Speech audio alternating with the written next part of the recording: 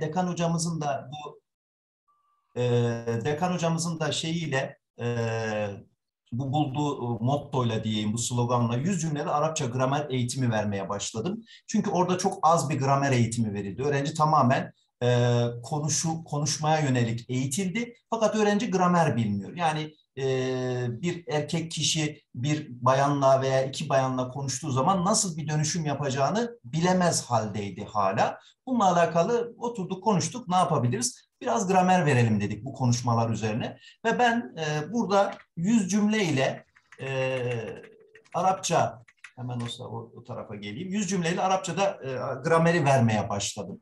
O kısa bir dönem olduğu için yüz cümle yaptık. Benim şöyle bir kitabım var. Gramer temelli kitap ve imla inşa. Bu üçüncü baskısı yapıldı. Konya'da da iki yıl okuttum ben bunu.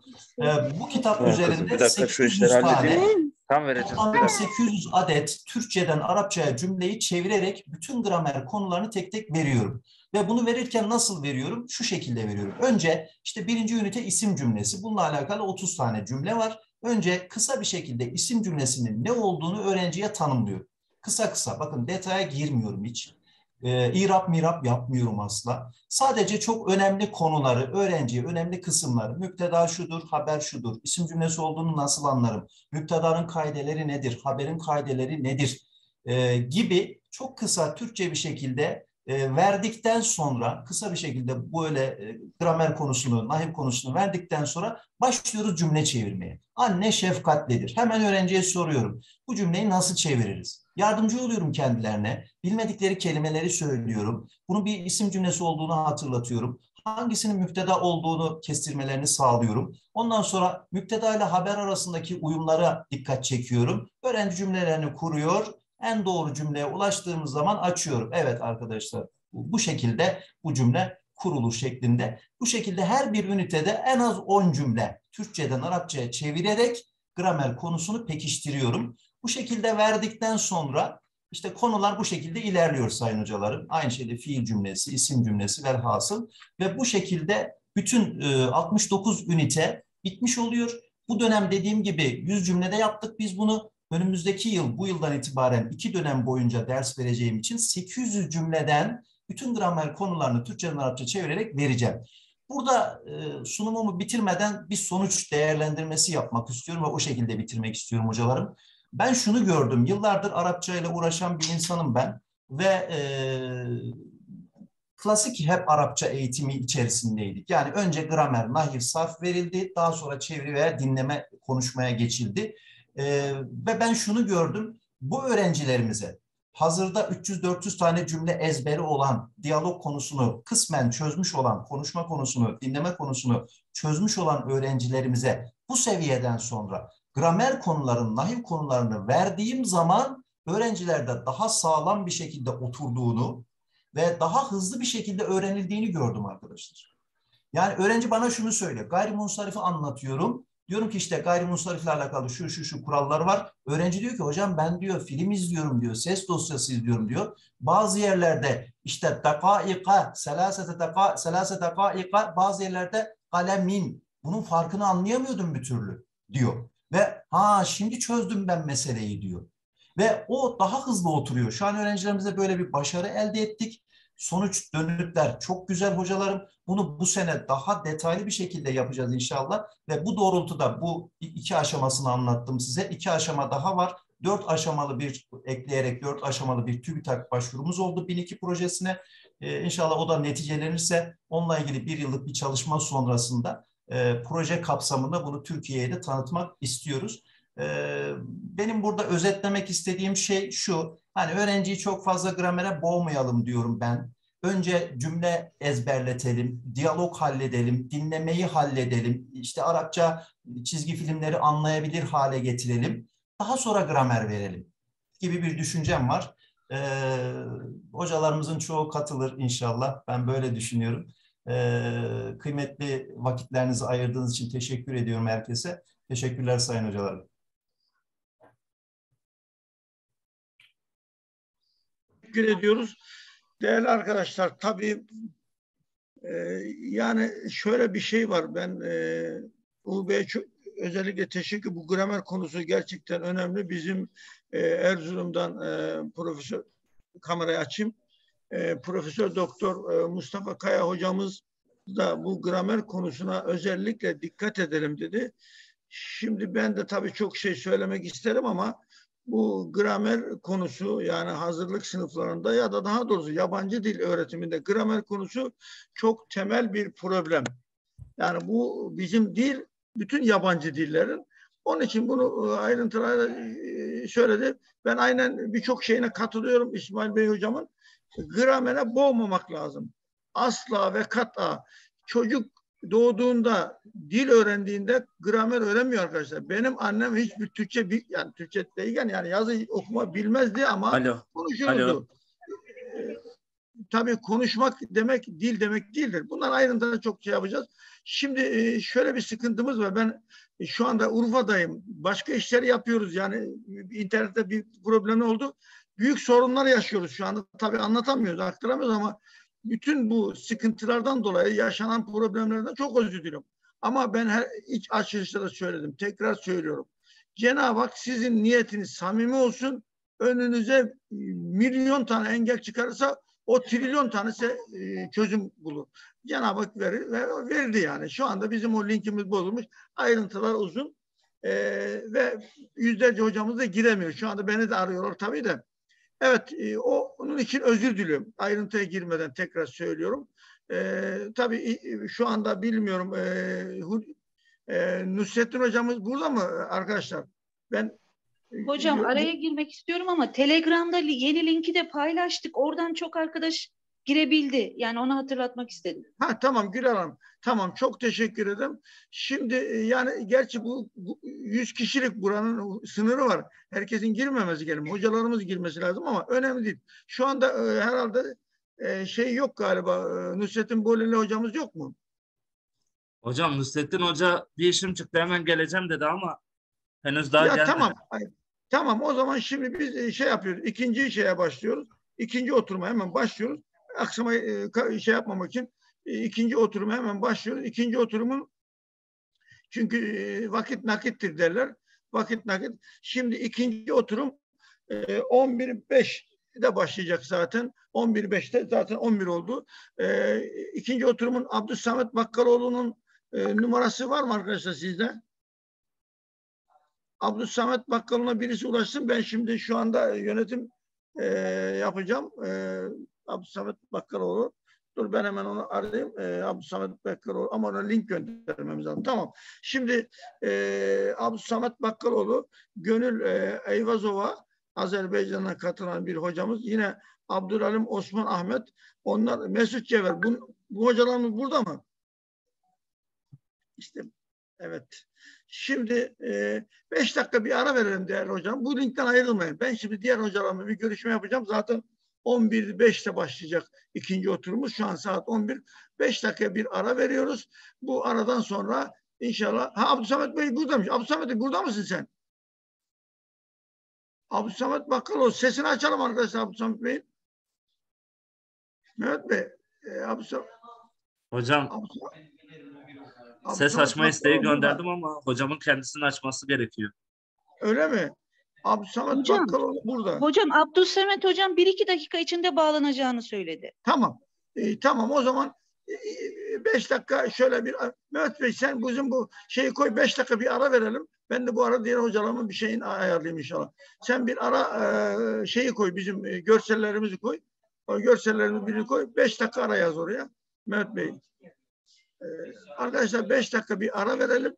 E, bir nefes alalım, çay içelim. E, ondan sonra hava alalım. E, beş dakika sonra saat şu anda 11, 11'i 5 geçe inşallah oturumumuz başlıyor. 11'i 5 geçe görüşmek üzere. Hepinize Allah'a emanet olun.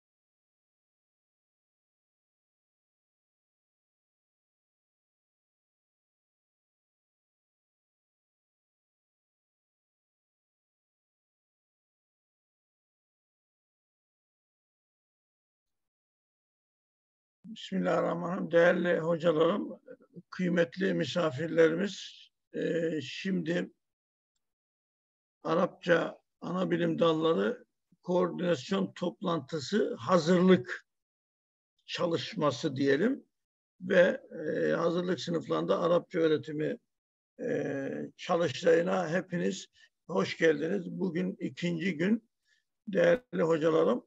Tabii bir hocamızın, büyüğümüzün dediği gibi iyi iş yaparsan, hayırlı iş yaparsan, faydalı bir iş yaparsan meyveler gibi taşlanırsın veya önüne engeller konar, konur diye söylemişti. Tabii bu engeller iyi niyetli de olabilir. Bazıları iyi niyetli bir engel koyar. Yani engel koymak maksadı yoktur ama yapmadıkları veya eksik yaptıklarından dolayı o iş sana engel olarak döner. Ee, şimdi biz de e, kısa zamanda az zamanda kısa büyük işler başardık lafını ben hep tekrarlarım. Az zamanda büyük işler başarmak peşindeyiz biz Allah'ın izniyle. Ee, ama nitelikli işler, kaliteli işler ve e, insanlara, e, topluma veya bizim Arapça bölümlerine faydalı olan işler yapmak istiyoruz. Niyetimiz bu. Tabii bu niyet her zaman gerçekleşemeyebiliyor. Biraz önce söylediğim engeller dolayısıyla. Şimdi biz bugün yani ben tabii şu anda il dışındayım, Urfa'dayım. Arkadaşlar organize ettik ama bir yerde bir kopukluk oldu. Yani kopuldu, koptu. Bizim bu link bozuldu, bozuldu. Yani bizim üniversiteden, Hacı Bayram Üniversitesi aldığımız link bozuldu. Çok da basit bir sebepten dolayı ama koskoca bir yani ayrıntıya girmiyorum. Şimdi tabii biz EDRÖSE adına yapıyoruz bunu. Hacı Bayram Üniversitesi adına yapıyoruz bu programı. Dekanlığımız katılıyor. Yani gerçekten büyük katkısı. Bölümümüz katılıyor. Arapça ana bilim dalı katılıyor. Aynı zamanda İslami İlimler Araştırma Merkezi Esat Erkaya Bey var.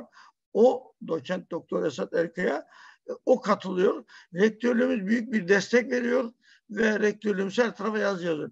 Bütün bu güzelliklere rağmen ama bir teknik arıza çıkıyor bu arıza da nereden çıkıyor biliyor musun? Yani ayrıntıya girmeden.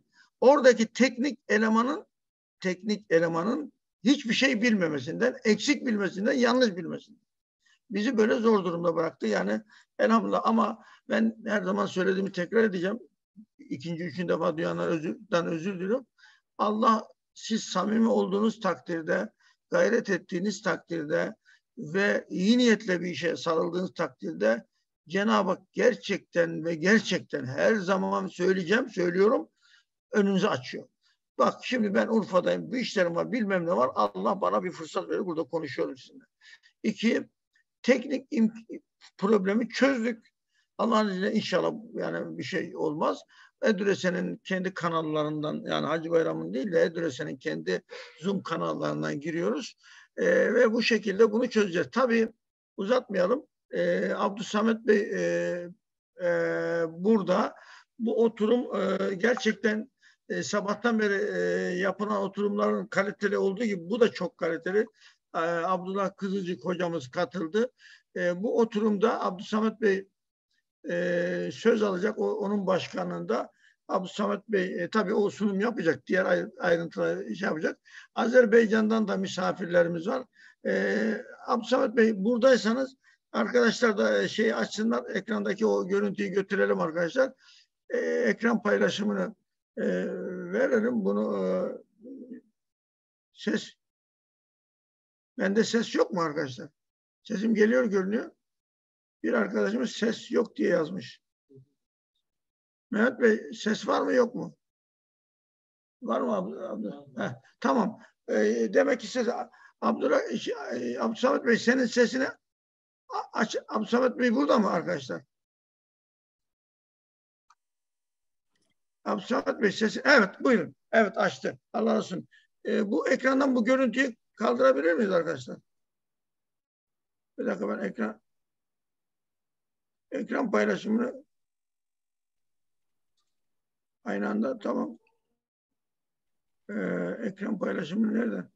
Evet Abu Samet Bey buyurun. Söz sizin.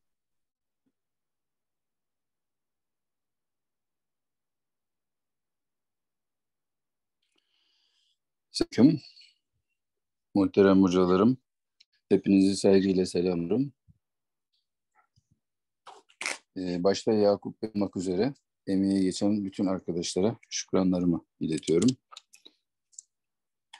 Benim e, sizlere arz etmek istediğim husus, e, zaten yıllarını bu işe vermiş olan siz kıymetli hocalarımın malumu olan bir husus. Sadece biraz o konuya e, temas etmek, dikkat çekmek niyetindeyim. Buradan paylaşım yapabiliyor muyum? Onu sorayım hocam. Paylaşım yapabiliriz Belki hocam. paylaş- Ben size paylaşım şeyi veriyorum şu anda. Yetkisi Tamam veriyorum. hocam eğer Ee, olursa. Ee, bir dakika videoyu. Abi Samet Bakkaloğlu. Ee, e, bunu Mehmet Bey orada mı arkadaşlar? Abi Samet Bakkaloğlu videoyu sabitleme ortak oturum ya ortak oturum.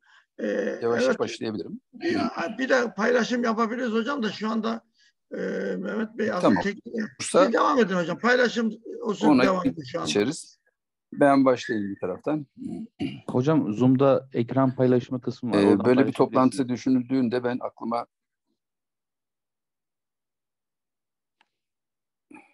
içerik ma Ee, bana şu anda o yetkiyi vermiyor. Başkası paylaştığı için herhalde. Diğer katılımcı ekran paylaşırken ekran paylaşımını başlatamazsınız demiş. Bir başkası herhalde paylaşıyor.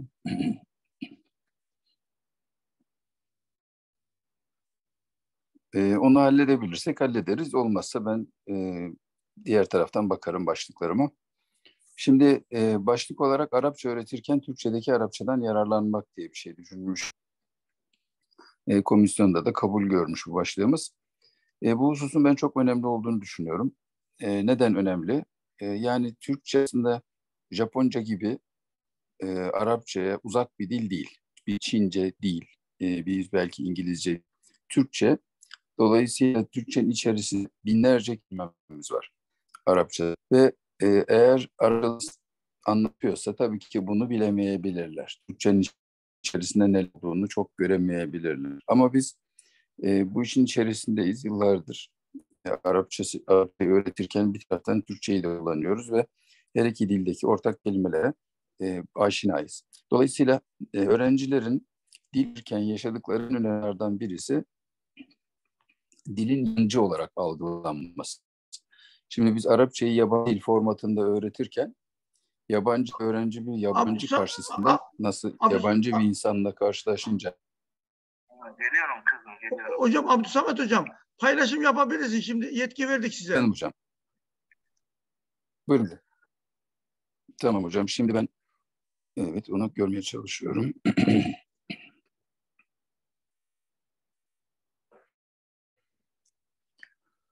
Şu anda gözüküyor efendim paylaştım.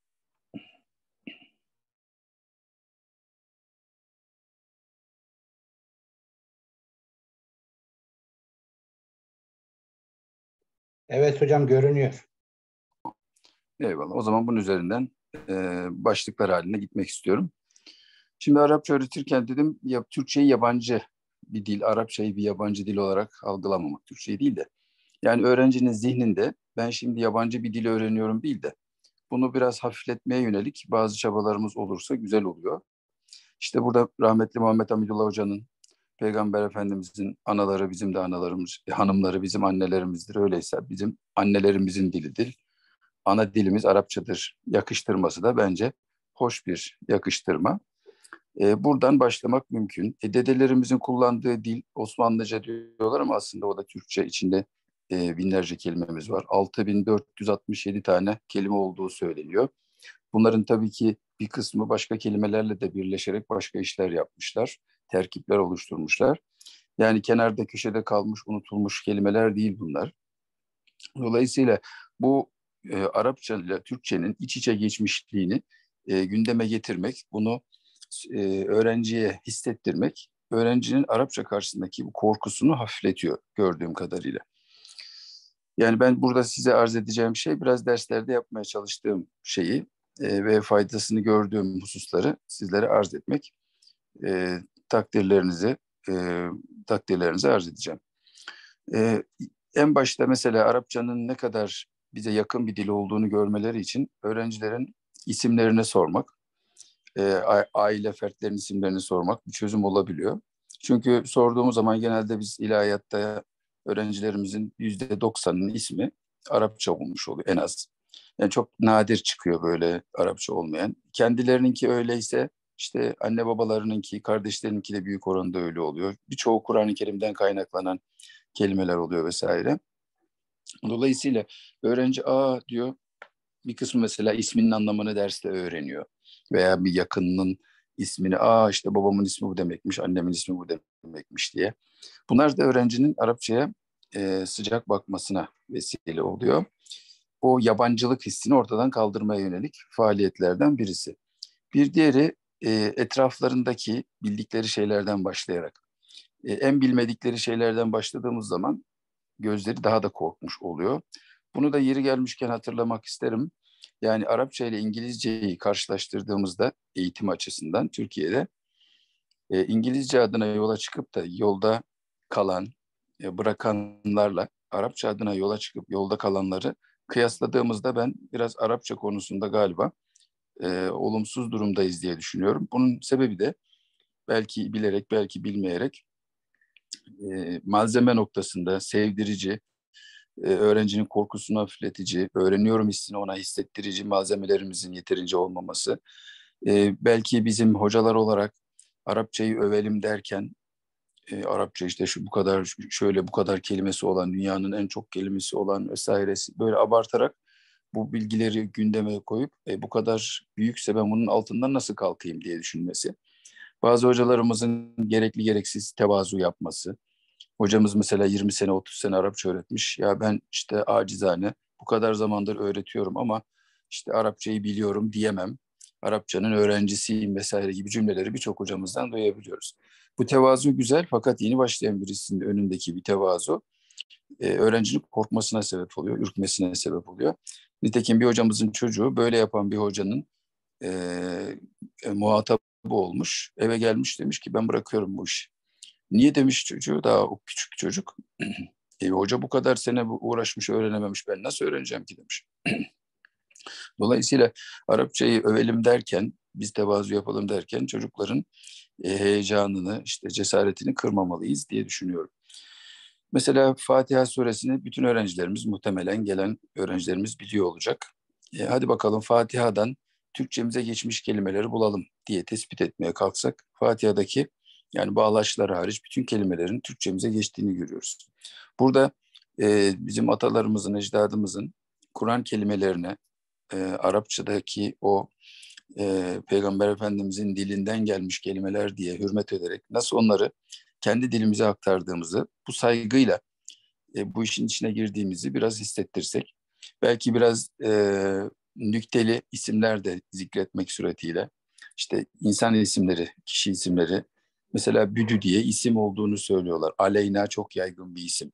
Şüheda mesela malum işte bunlar sizin bildiğiniz kelimeler. Çoğul olmasına rağmen kızlarımıza takılan bir isim. Fensur e, Amener Resulü'den hoşuna gitmiş Fensur diye isim vermiş çocuğuna. Oğuz'u Euzu billahi mineşşeytanirracim ile yakıştıranlar var. Haldun Halidun'dan bozulmuş. Mürselinden e, benim bir tanıdığım var. İsmi Selin geçiyor. Nereden geldi dedim. E, Mürselin koymuşlar diyor. Sonra işte kısalınca Selin olmuş diyor. Ve bir eyyi alâi rabbikuma tükezzibandan kezbana dönüşmüş. İşte Memati filmi erkek öğrenciler için özellikle filmdeki o karakter Kurtlar Vadisi karakteri aa bu da mı Arapçaymış dedirtiyor. İşte abidin cemi ama müfret için kullanılıyor. Dolayısıyla bu tür e, hoş taraflarını da gündeme getirerek latifelerle Arapçanın o Türk öğrenci gözündeki korkunçluğunu bir şekilde azaltmaya çalışmamız gerekiyor diye düşünüyorum. Arapçanın kendisinden kaynaklanan özellikle bu harekelerin olmayışından kaynaklanan bir zorluğu var. Ama bu zorluğu biz işte e, aslında bizim her tarafımız Arapça. Siz zaten Arapça biliyorsunuz şeklinde e, onları bir şekilde e, ikna ederek yola çıkarsak zannedersem işimizi kolaylaştırırız. E, bir dönem Farsça dersi almıştık fakültede. bir dönemlik seçmelik bir ders. Hoca dedi ki rahmetli oldu Nurettin Bayburtlu hocamız. Ben size bir dönemde Farsçayı öğretemem. Ama Türkçenin içerisindeki Farsçaya e, size dikkatinizi çekebilirim dedi ve de çekti. E, o beni motive etmişti ve oturmuştum. Develioğlu'nun sözlüğünü baştan sona tarayıp bütün Farsçayla, Farsçadan Türkçe'ye geçmiş kelimeleri görmüştüm ve çok hoş kelimelerle karşılaşmıştım. Şimdi biz de e, bunun benzerini Arapça için yapsak diye düşünüyorum. Arapçada Türkçe'ye geçmiş kelimelere dikkat çeksek, bunları da eğitim öğretimi bir parçası olarak kullansak. Mesela İstiklal Marşı öğrencinin gözünün önünde. Gençliğe hitabı eğer gözünün önündeyse. Hadi bakalım buradaki Arapça kelimeleri bulalım. Arapça orijinal şekilleriyle yazmaya çalışalım. Bakalım kimler bulacak diye. Bunu biraz yarışma, bulmaca formatında yapmak e, işimizi bizim e, geliştirebilecek bir husus. Yeri gelmişken hatırlamak isterim. E, Tunus'ta bir dönem e, British Council'a İngilizce kursuna gitmiştim. Orada bize hep oyunlar oynattılar. Yani son kurdaydık, dördüncü kur, gramer seviyemiz vesaire belli bir kıvamdaydı. Hep oyunlarla bizi konuşturmaya çalıştılar. Ve onlarla bütün işleri oradan yaptılar. İşte canımız sıkılmıyor. Ama bizim e, fakültelerimizde maalesef Arapça derslerinde öğrencilerin birçok derste canı sıkılıyor. Burada öğrencilerin hazır bulunmuşluklarının etkisi belki var. Ama bir, bir taraftan da bizim hem malzemelerimizin hem sunuş tarzımızın etkisi olduğunu düşünüyorum. Çünkü aynı öğrenci şikayet ediyorsak öğrenciden bir, bir dersten keyif alıyor birinden almıyor. Dolayısıyla belki dersin mahiyeti de etki ediyor bunu ama e, sunum tarzı da bu konuda çok etkilidir diye düşünüyorum. E, geçen yıl e, sene başında Arapçadan mektup var diye e, bir e, böyle bir metin kurgulamıştım. Orada Arapçadan Türkçe'ye geçmiş kelimelerle ilgili sanki Arapça e, Türklere bir mektup yazmış edasıyla. E, onu sunmuştum. Öğrencilerin hoşuna gitti. Daha sonra sosyal medyada da paylaştım. Eğer arzu eden hocalarımız olursa onun e, onu metin olarak da paylaşabilirim. O vesileyle aslında Türkçe ile ne kadar içli dışlı olduğumuzu görmüş olmalarını sağlıyor, sağlamak güzel oluyor. Hocam bir iki ee, dakikada Samet Hocam bir iki dakikada tamamlayabilirseniz çok mutlu ay, olurum. Ay, ay hocam. Ee, bu sene başında öğrencilerin Arapçayı sevip sevmediklerini, niçin bunun böyle olduğunu sormak da işe yarıyor. Efendim Arapçayı niye seçtiniz, ilahiyatı niye seçtiniz? Oralarda Arapçaya yönelik korkuları varsa onları tespit edip onların üzerine gitmek güzel oluyor. Ee, özellikle sarf konularını işlerken e, Hamza Ermiş Hoca'nın Türkçeleşmiş Arapça kelimelerin tasnifi ve kök analizi adlı kitabı Yine aynı e, hocamızın Arapçadan Türkçeleşmiş kelimeler sözlüğü işimize yarıyor. E, oradan öncelikle örnekleri seçip vermek. E, öğrencilere hadi bakalım şimdi fail kalıbını öğrendik. Siz Türkçeden fail kalıbındaki kelimeleri bulun getirin bakalım. Kim daha çok getirirse ona mükafat var şeklinde. Bu tür yarışma var, vari çalışmalar güzel oluyor. E, soyut kuralları öğrenme ve kelimeyi ezberleme gramerde karşımıza çıkıyor. En azından kelimelerdeki zorlukları hafifletirsek bu şekilde işimiz biraz kolaylaşmış oluyor. E, istikbal köklerdedir diye bir e, vecize ile biz hareket ediyoruz derslerde. Hemen köküne inme şeklinde. E, köküne indiği zaman o kökten illaki bir şekilde bir tanıdık çıkıyor. E, ama tabii Türkçedeki Türkçeden yararlanırken anlam kaymalarına dikkat etmek gerekiyor. Bu anlamda Türkçedeki harfi tarifler, Türkçedeki tembinler, Türkçedeki harficerler vesaire onlar da bizim işimizi kolaylaştırıyor. Çünkü ana dilinde eğer şeyler varsa, malzeme varsa aa zaten ben bunu biliyormuşum diyor. Onun üzerine ilave ediyor hepsini. Hatırlarken de kolay oluyor. Öğrenirken de zihni çok yorulmuyor. Aksi takdirde sıfırdan yeni bir şeyi üretmiş ve onu kaydetmiş gibi oluyor. O yüzden e, bu noktada Türkçeden istifade ederiz diye düşünüyorum. Son sözüm de yani Türkler için bir Arapça serisi hazırlanması gerekir diye düşünüyorum. Belki hazırlananlar oldu ama bunlar tam istenildiği gibi midir? E, onu tam bilemiyorum. Bunu hazırlarken e, tamamen bir Arap mantığıyla hazırlanmalı. Fakat Türkler de komisyon olarak e, bunda yer alıp hani mesela ileri kelimeler onlar e, bize öğretirken neyin ileri neyin geri olduğunu anlayamıyorlar haklı olarak. Ama biz mesela yakınımızda bir kelime varsa öncelikle onu öğrenelim bildiğimiz, Türkçe'de de olan bir kelime varsa ufak tefek değişiklikler olmuş olabilir ama onlara işaret ederiz. Çok ileri, uç kelimelerle başlamaktansa öğrenciyi yormayacak şekilde başlamak isabetli olacaktır diye düşünüyorum. E, umarım vakti geçirmemişimdir. Hepinize teşekkür ediyorum. Hocam, e, Abdülsamet hocam as, özür ben özür diliyorum tabii yani bir hadsizlik ettik. Estağfurullah başkanı sizsiniz. Ben de şimdi tabii kafam da karışık. Oturum başkanı sizsiniz. Siz yöneteceksiniz. Ben size tabii e, dediğim gibi haddim olmayarak böyle bir e, Yok estağfurullah. dedim. Yani süreye Şimdi- riayet etmiş olayım. Ee, yine soru cevap vesaire olursa üzerinde tekrar konuşuruz. Ana hatları zaten bunlardan ibaretti. Ben bunun dışında e, birçok şey tespit etmiştim. E, yani Türkçe'ye geçerken başına neler gelmiş, efendim komik şeyler olmuş. Türkiye Türkçe'de biz katkılar yapmışız. Arapçada olmayan şeyler mesela ilaveler yapmışız. Yani Türkçe aslında Arapçayı e, almış kendisi güzelce hamur gibi yoğurmuş. O yüzden de ben Arap kardeşlerimizin de olduğu ortamlarda e, şu anda da vardır belki bilmiyorum. Onlara da diyorum el arabiye muhimme liderecet enneha la yumkinu terkuha ilel arab diye söylüyorum. İlk başta biraz kızar gibi oluyorlar. Diyorum yani sizin de ortak diliniz, bizim de ortak dilimiz, bizim de kültür dilimiz, din dilimiz. Dolayısıyla size tek başına bırakamayız. Kusura bakmayın. Biz de o kadar çok şey almışız, o kadar içli dışlı olmuşuz ki Arapçayla. Ee, Arapçayı böyle yabancı bir dil olarak göremeyiz. Çünkü bizim ortak kültür dilimiz. Şimdi çok enteresan bir tarafı bu e, Arapçadaki kelimeleri, Türkçedeki Arapça kelimeleri ayıklayalım derken aslında bir dönem yapılan bir yanlışta aslında Türkleri de diğer Türk topluluklardan uzaklaştırmışlar.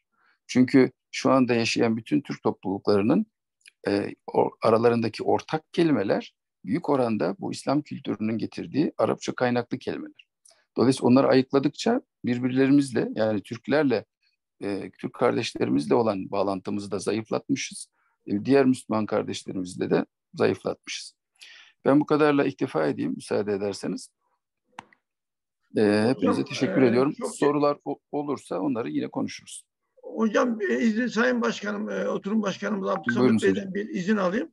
Ben bir açıklama yapayım. Değerli hocalarım, e, Allah razı olsun. Şimdi biz e, geçen e, dönem yani ayların birinde Azerbaycan'a gittik bir kongre için. Orada adrese olarak veya bizim buradaki hocalarımız, üniversitelerimiz Azerbaycan'daki üniversitelerimizde özellikle Bakü Devlet Üniversitesi ile oradaki İlahiyat Fakültesi ile yine oranın çok önemli zaten e, Sovyet Cumhuriyetlerinde önemli bir e, ilmi akademi kurum İlimler Akademisi ile biz görüşmeler yaptık. Hem EDRES hem diğer hocalarımız, üniversitelerimiz yaptı. Biz bu bağlamda EDRES'i olarak veya e, diğer üniversitelerde de ben özellikle tek tek zikretmiyorum ama onların rektörleri ve ilgilileri gidip görüştük. Biz buradaki hocalarımızla, Azerbaycan'daki hocalarımızla bir araya geldik ve inşallah bugün Azerbaycan'a e, hocalarımız, akademisyenlerimiz bu e, Abdülsamet Bey başkanıma açıklama babına giriş olsun diye yapıyorum. Gönül Hanım var. Zaten ben Abdülsamet Bey'e vereceğim. Devletten çıkacağım. Oturum o yönetecek. E, Gönül Hanım ve diğer hocalarımız, e, misafir hocalarımız da ve bütün hocalarımıza burada sesleniyorum. Bir mesaj veriyorum. Azerbaycan kardeş e, Can Azerbaycan e, ilim adamlarımız Arapça ile ilgili çok büyük çalışmalar var. Onlar bizi bekliyor. Biz de onları bekliyoruz tabii. Onlarla mutlaka diyalogları artıralım. Orada çok güzel çalışmalar yapabiliriz. Hem Bakü Devlet hem diğer ilimler akademisi hem de İlahiyat Fakültesi. Oralarla ilgimizi e, güçlendirelim, koparmayalım. Daha da güçlendirelim. Bunlardan birisi de inşallah bugün Gönül Hanım bize bir sunum yapacak. Abdülsamet Bey ben artık konuşmuyorum. Sesimi kesiyorum. Görüntümü de kapatıyorum. Söz ve şey sizin. Gönül Hanım'a tabii artık siz verin. Buyurun hocam. Evet hocam teşekkür ediyoruz. Ee, bu vesileyle hemen biz de vakit kaybetmeden e, mikrofonu Gönül Hanım hocamıza verelim. Ee, hazır mıyız Gönül hocam?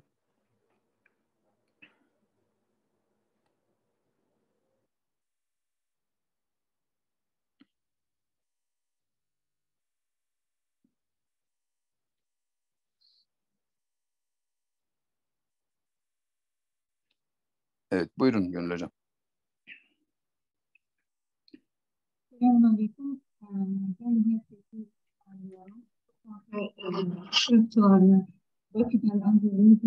selamlıyorum. Hepinize Hoca hanım ses sanki çok iyi değil gibi. Bir daha e, kontrol edip tekrar başlayabilir miyiz? Şimdi nasıl? E, yine de çok net değil sanki. Bilmiyorum belki ben tam alamıyorumdur. Diğer arkadaşlar nasıl? Ses kötü hocam. Evet. Evet hocam alamıyoruz. Benim Evet. kulaklık varsa eğer kulaklık takıp deneyebilir misiniz hocam? Evet belki kulaklıkla daha iyi olacaktır. Evet diğer arkadaşlarda da net gözükmüyor anlaşılan. Tamam ben bir bakayım.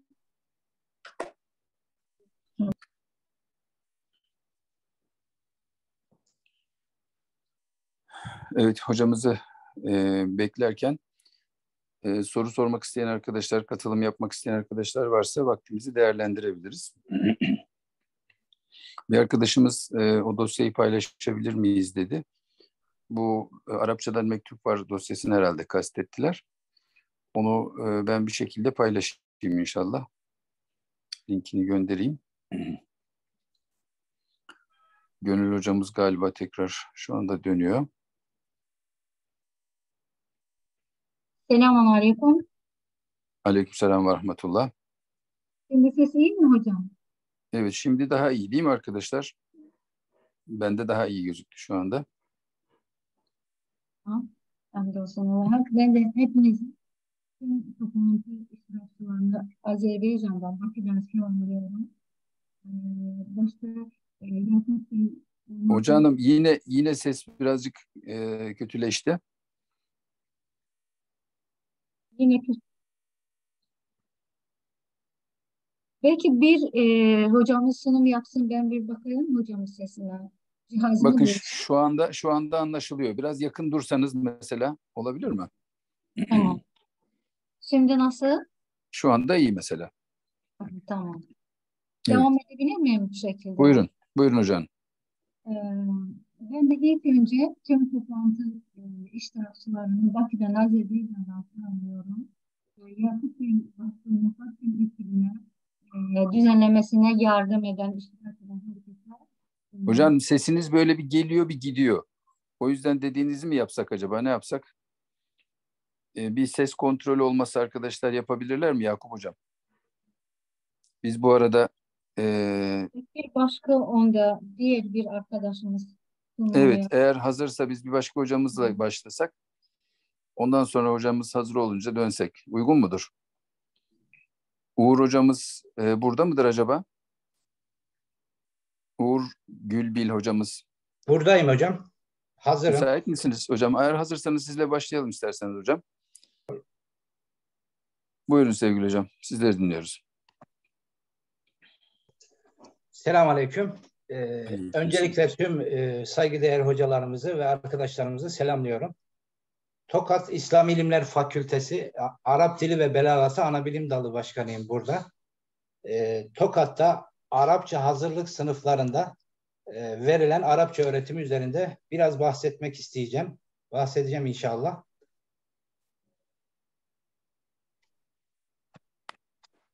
Şi- Tokat e, değerli arkadaşlar e, Tok- fakülteye başlamadan önce Arapça ile ilgili genel bir e, sorular ve planlama diye bazı sorular oluşturdum.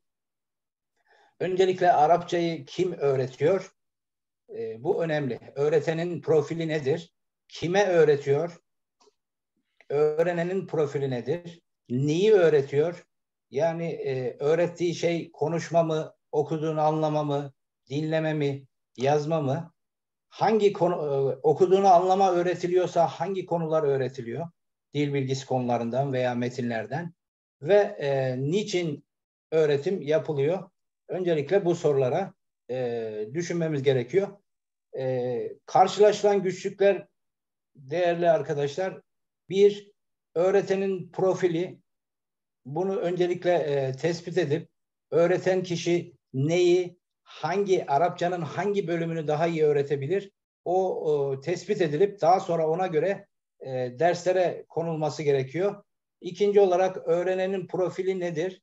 E, öğrenenin e, yani bizim öğrencilerimizin e, geldiği profile göre Arapçanın ne kadarını e, veya hangi bölümünü vermemiz gerekiyor? E, bunun planlamasının yapılması gerekiyor. Bu profilden dolayı sıkıntılar oluşuyor öğrenenin bulunduğu kurum ya da amacın tespiti yani gelen öğrenciler Arapçayı hangi maksatla öğreniyor? Arapçanın hangi bölümü onun işine yarar? Bu konularda tespitlerin yapılması gerekiyor. Öğrenilenin yani öğrencinin kapasitesine göre verilmesi gereken nedir?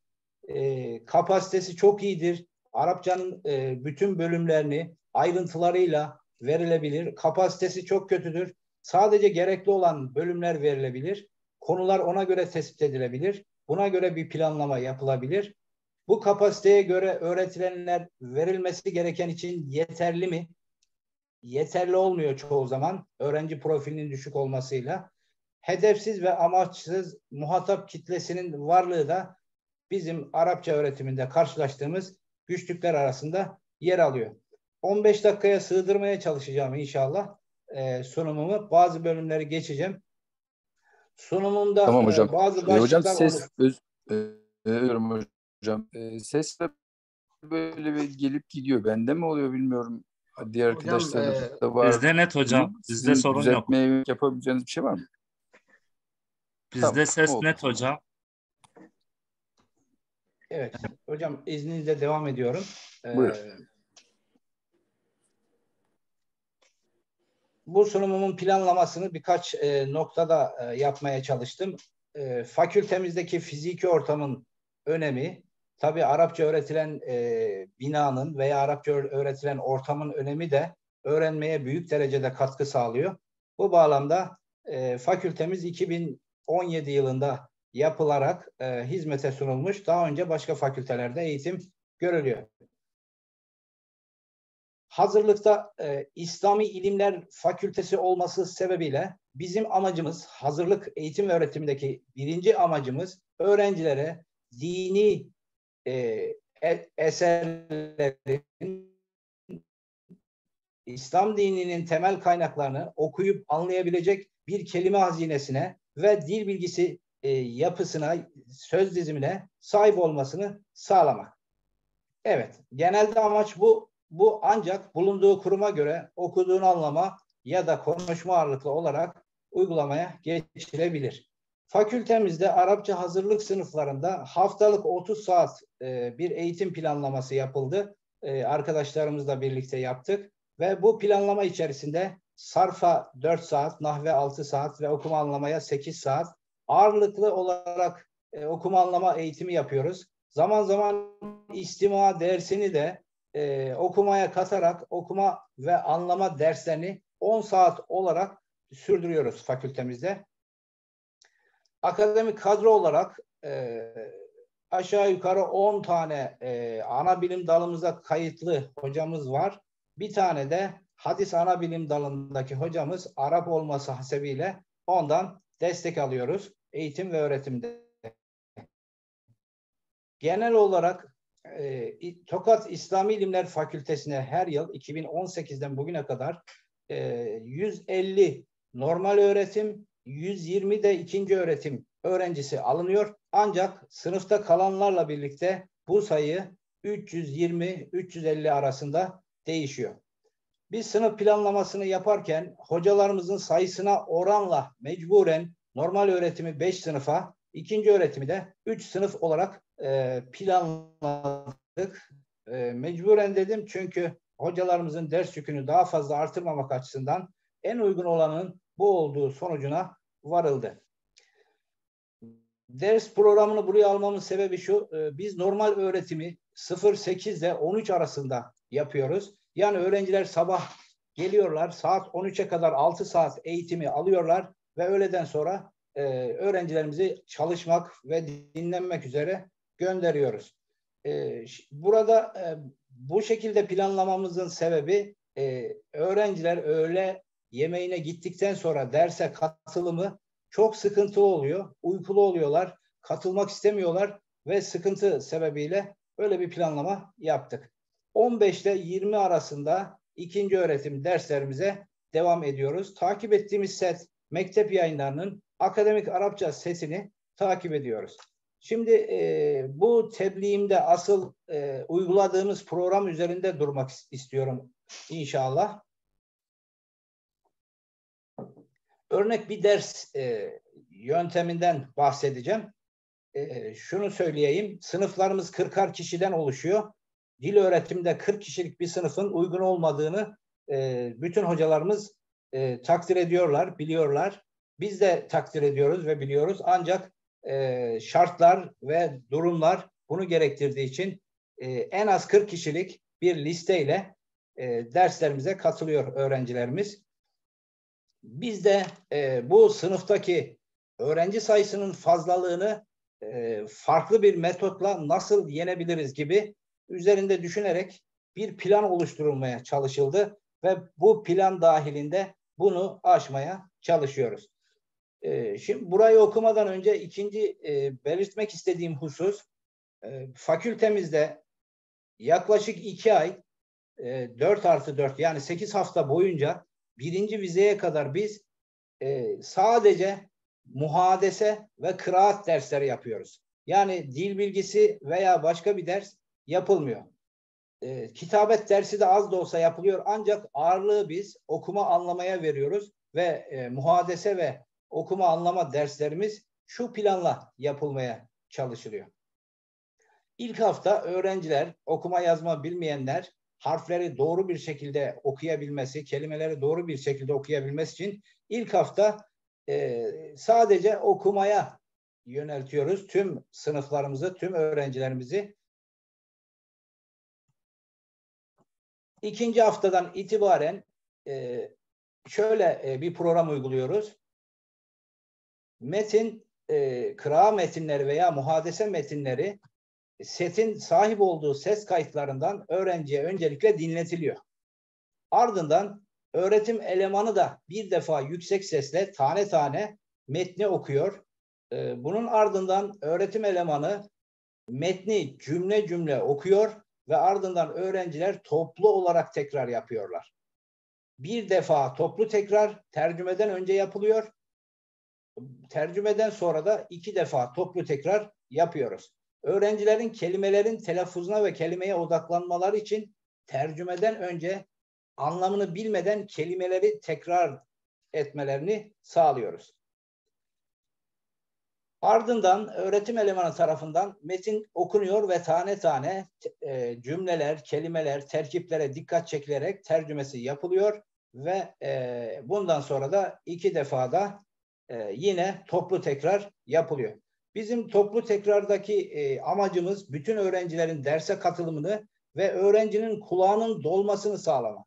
Yüksek sesle okunan, okunan metinler dolayısıyla öğrencinin kulağını dolduruyoruz.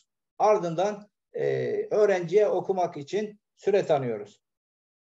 Bu metot önemli bir not bu. Kalabalık sınıflar için böyle uygulanıyor. Ancak e, İbrahim hocamızın bahsettiği 15 kişilik sınıflar olsaydı tabii ki birebir öğrencilerle e, tekrarlar yapılabilir ve metinler ezberletilebilirdi. Şimdi bu toplu tekrarların en önemli amacı cümleleri öğrencilere ezberletebilmek ve dile maruz bırakmak. Ee, biraz önce söylediğim gibi biz planlamamızı ilk iki ay dilin kendisini vermeye çalışıyoruz öğrenciye. Ee, birinci vizeden sonra da normal programımıza geçiliyor. Sarf ve nahiv kuralları anlatılmaya başlanıyor. Önce dilin kendisinin verilip yani tümden gelin metodunu uygulamaya çalışıyoruz fakültemizde. Dilin kendisini verip ardından e, dildeki o söz dizimindeki çözümlemelere çözümlemeler tek tek anlatılıyor. Öğretim elemanı metni yüksek sesle bir kez daha okur, önemli cümlelerin tercümesini yineler. Buraya kadar cümleler en az üç defa toplu olarak tekrar edilmiş oldu. Bu da ezberlemeyi kolaylaştıracak bir yöntem oldu. Bizim metodumuzda e, derse başlamarken ilk başlangıcında ses kaydından metni okuyan, sese ait olan ses kaydından üç defa veya iki defa dinletiyoruz. Ardından tekrarlar başlıyor. Birinci vizeye kadar muhadese 1, 2 ve kıra 1, 2 kitapları tamamen bitirilme üzerine planlamamızı yapıyoruz. Setimiz biliyorsunuz e, arkadaşlar 18 kitaptan oluşuyor. Ardından e, bu tekrarlar yapıldıktan sonra öğrencilere 5 dakika süre veriliyor. Metnin boyutuna göre öğrenciler sessizce okuyor ve metni kendi zihinlerinde anlamaya çalışıyor. Tabii imkan dahilinde fırsat buldukça öğrencilere tek tek birebir tekrarlarda yapılıyor. Konunun bitiminde ödevlendirmeye de biz e, önem veriyoruz. E, tabii derste işlenen metodumuz bu ama aynı metodun, aynı usulün evde de veya kaldığı yerde de öğrencilerimizin yapması gerekiyor.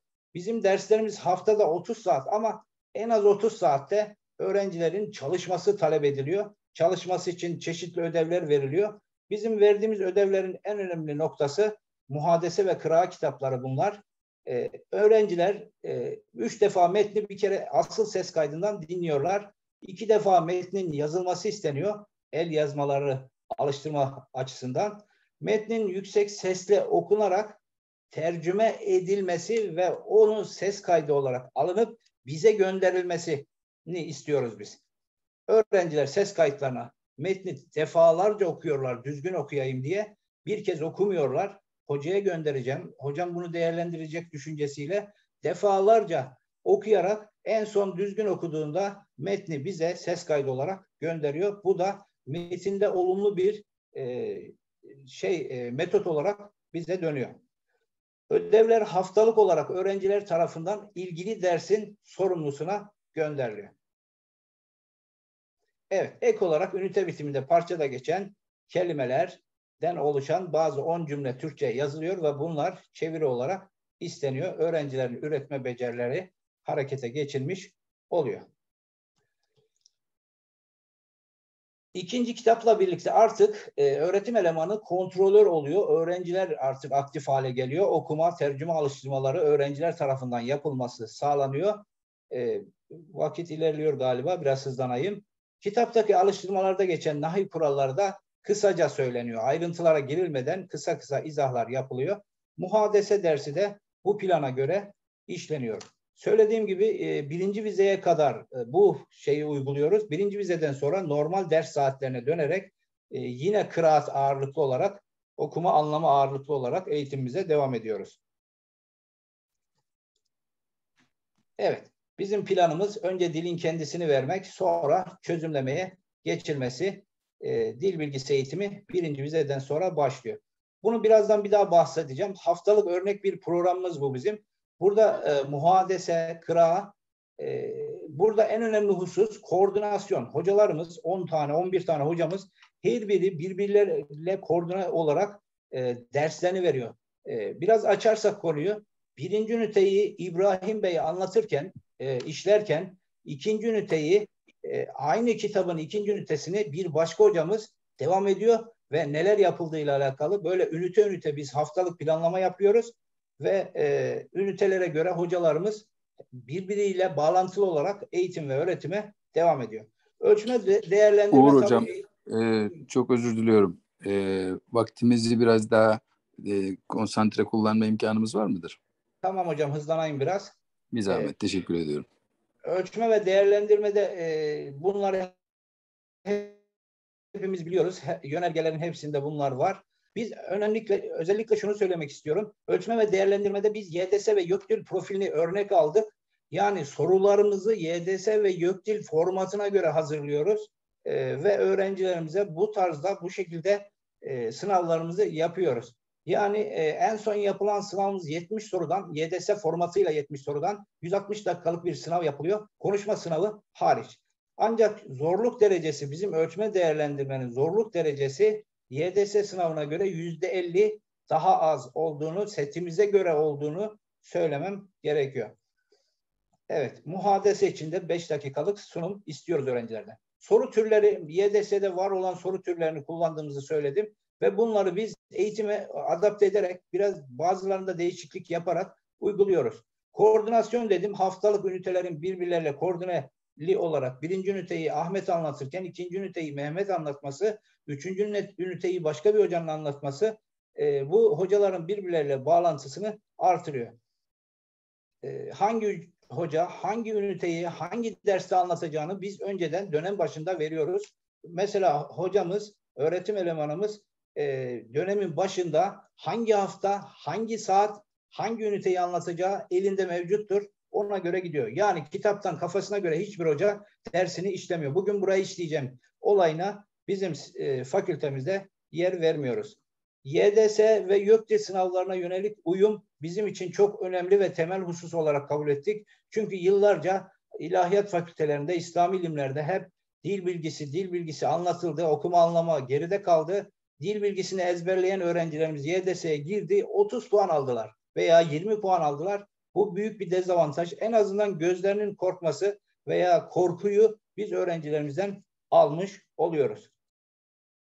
Bizde bir de e, söylemem gereken bir husus proje ödevlerimiz var. E, proje ödevleri İslam ilimleri olmaz sebebiyle birinci proje ödevini Bakara suresi olarak belirliyoruz. Çünkü Kur'an-ı Kerim'deki en önemli konuların yer aldığı bir sure. Okuma, anlama, kelime, terkip ve paragraf anlamları şeklinde çalışmalarını istiyoruz. Bunun için de YouTube'da kaynaklar var. Öğrencilerimize öneriyoruz. Öğrencilerimiz bu, onunla beraber çalışmalarını sürdürüyor ve bu konuda da ciddi anlamda olumlu dönütler alıyoruz. Öğrencilerimizin dualarını, teşekkürlerini alıyoruz. İkinci proje ödevimizi de yönergede yer alan 150 hadis olarak belirliyoruz. Okulumuzda konuşma saatlerimiz var. Bir de karşılaşılan zorluklar üzerinde biraz durayım. E, birazdan bitireceğim hocam. E, bizde dediğim gibi 350 öğrencinin gelmesi e, bir zorluk olarak görülüyor ama bunu aşabilmek için arkadaşlarımız ellerinden gelen her türlü çabayı sarf ediyorlar. Öğretim elemanlarının sayısına oranla sınıfların ortalama 40'ar kişilik olması, programın gereğinin yapılmasına engel olması bu öğrencilerle bire, birebir eğitimin yapılmasını zorlaştırıyor. Bir de öğrencilerin Arapçayı bir yabancı dil olarak benimsemeden sadece fakülte için gereksiz bir angarya olarak görebiliyor çoğu öğrenciler. Bu bize sıkıntı oluyor derslerimizde. İlgisiz öğrenciler, profili düşük öğrenciler bunları motive etmek bizim için zor oluyor. Şunu da belirtmem gerekiyor. Bizim fakülteye bu yıl 221 puanla taban puanıyla öğrenci alındı. 450 puanla giren bir öğrenciyle e, tabii 450 e, ile giren bir öğrenci çok çalışıyor, çalışmasını biliyor, e, planlamasını biliyor. Ama 220 ile öğrencinin profilini siz takdir edersiniz artık. Fakültenin sıradan bir ders gibi görülmesi ve isteksiz davranılması e, değerli hocalarım bizim için zorluk olarak görülüyor. Öğrencilerde tabii bu puanla gelen öğrenci çalışma azminin yetersizliği, okumaya eğilimin olmaması, verilen ödevlerin yapılmaması gibi sıkıntılarımız oluyor, zorluklarımız oluyor. İkinci öğretimde bir sıkıntımız oluyor zaman zaman. Ee, diğer fakültelerde de olduğunu düşünüyorum. Ee, ödenek eksikliği sebebiyle sınıfların birleştirilmesi talep ediliyor. 120 öğrenciyi e, iki veya üç sınıfta sıkıştırmamız istenebiliyor. Şimdi geleceğe yönelik isteklerimiz, e, dil laboratuvarlarının öğrencilerin sayılarına uygun olarak oluşturulması planlarımız bunlar. Karanlık Oda projesi var. E, tamamen öğrencinin ilgili metne e, ilgili metni görmesi ve e, sadece sesi duyması, diğer arkadaşlarını veya herhangi bir nesneyi duymaması, nesneyi görmemesini sağlayan bir karanlık oda projesi var. Uygulayamadığımız ama ta- talep ettiğim. Bunu bir sınıfta denedim ikinci öğretimde. Işıkları kapattım. Buyurun benden sonra tekrar edin dedim cümleleri. Okudum, tekrar ettirdim ve öğrencilerin sadece e, dile odaklandıkları ve tekrarlarla e, hoşlarına gittiğini gördük. Şimdi e, benim ikinci büyük e, talebim değerli hocalarımdan, e, bu alanın üstadlarından e, önemli bir isteğim var. Arap dili ve belagatı ana bilim dalı statüsünden çıkarılmasını istiyorum. Sebebi hazırlık sınıfları buraya bağlı olduğu için inanılmaz boyutta iş gücü fazla olması sebebiyle en azından bölüm statüsünde ve bölüm olarak o işleri yürüten kişiye bir motive edici bir unsur olarak e, bir ödeneğin gelmesi açısından hazırlık sınıfları koordinatörlüğü bölümü diye bir bölüm kurulmasını veya Arap dili ve belagatı bölümü diye müstakil bir bölüm olması e, ne istiyorum. Bu konuda büyüklerimden, değerli hocalarımızdan, YÖK'le veya e, bağlantısı kuvvetli olan hocalarımızdan arz ediyorum. E, bölüm statüsüne kavuşturulmasını. E, Tabii hocalarımız değişik yöntemler uyguluyorlar. Yabancı dillerin içerisinde olanlar falan var ama e, çoğunlukla İslam ilimlerin altında olduğu için böyle bir e, sıkıntı oluyor. Hazırlık sınıflarında istenilen amaçlar... Uğur Hocam ve... özür dileyerek e, araya giriyorum. Bir dakika içinde toparlayabilir miyiz? Tamam hocam. Eyvallah. Biz değerli hocalarımızın destek, tavsiye ve önerilerini de bekliyorum. Sonuç olarak şunu söyleyebilirim. E, oluşturulan program öğretim elemanları tarafından koordineli bir şekilde uygulanmaktadır ve bu programın e, daha geliştirilmesi açısından siz değerli hocalarımızdan bu alanda önemli deneyimli ve tecrübeli hocalarımızın desteklerini ve yardımlarını bekliyoruz. E, program ve müfredatın oluşturulması uygulanmasında e, köklü üniversitelerden bakıldı ama örnekler alındı ve uygulanabilir olanların uygulanmaya çalışıldı. sunumu hızlandırdım biraz. söylemek istediğim başka şeyler de vardı ama e, teşekkürlerimi sunuyorum. Saygı ve hürmetlerimi sunuyorum. Başta Yakup Hocam ve değerli Abdüsamet e, Hocam e, saygı ve hürmetlerimi sunuyorum. Teşekkürlerimi sunuyorum. Evet, e, Uğur Hocam biz de sizlere çok teşekkür ediyoruz. Gayet e, gayretli bir çalışmanın içerisindesiniz gördüğüm kadarıyla. E, sunumunuzda dikkatimi çeken birkaç şey oldu. Başlıklarını arz etmek isterim. Özellikle en başta e, kimin sunum dersi verdiği, kime verdiği, hangi amaçla verdiği noktalarına temas etmeniz güzel bir şey bence.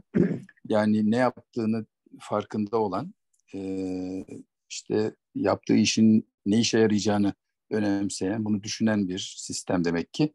Bunu şahsen e, çok önemsedim. Diğer e, dikkatimi çeken hususlardan birisi YDS YÖKDİL e, formatının e, koyulmuş olması. Bu da öğrencilerin bu tür sınavlara daha sonra girdiklerinde onlar işini kolaylaştıracak bir şey olur herhalde.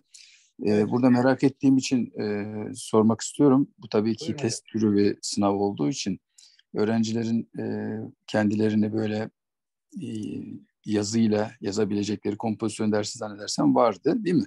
Dolayısıyla evet. sadece testler çünkü bir yere kadar getiriyor dil eğitiminde telif mahiyetinde öğrencinin kendisinin aktif olduğu beceriler hem konuşmada hem de yazmada önemli. Onlarla da beslendiği zaman tabii ki bu usul e, verimli hale gelecektir. İnşallah e, bu çalışmalarınız da diğer arkadaşlara, hepimize örnekler olmuş olur. Tecrübe paylaşımı için teşekkür ediyoruz. Ben teşekkür ee, ediyorum. E, şimdi müsaadenizle e, Gönül hocamız hazırsa ona dönelim. Ses Selamun Aleyküm. Çözebildik mi? Aleyküm selam. استاذنا انا يعني في في المواعيد الجديده الجديده كان موعدي أيوة. الساعه 11 و35 في القديمه نعم. الثانيه وعشرة والثلث فانتم على اي شيء تسيرون؟ استاذ الفاضل حضرتك استاذ محمد عبد الحليم محمد صحيح؟ عبد الحليم. نعم. نعم أستاذي يمكن أن نستمع إليك. تفضل. مشكورا إن شاء الله. نعم تمام. الآن. إن كنت تمام. جاهزا؟ نعم جاهز الحمد لله. تمام. تفضل سيدي.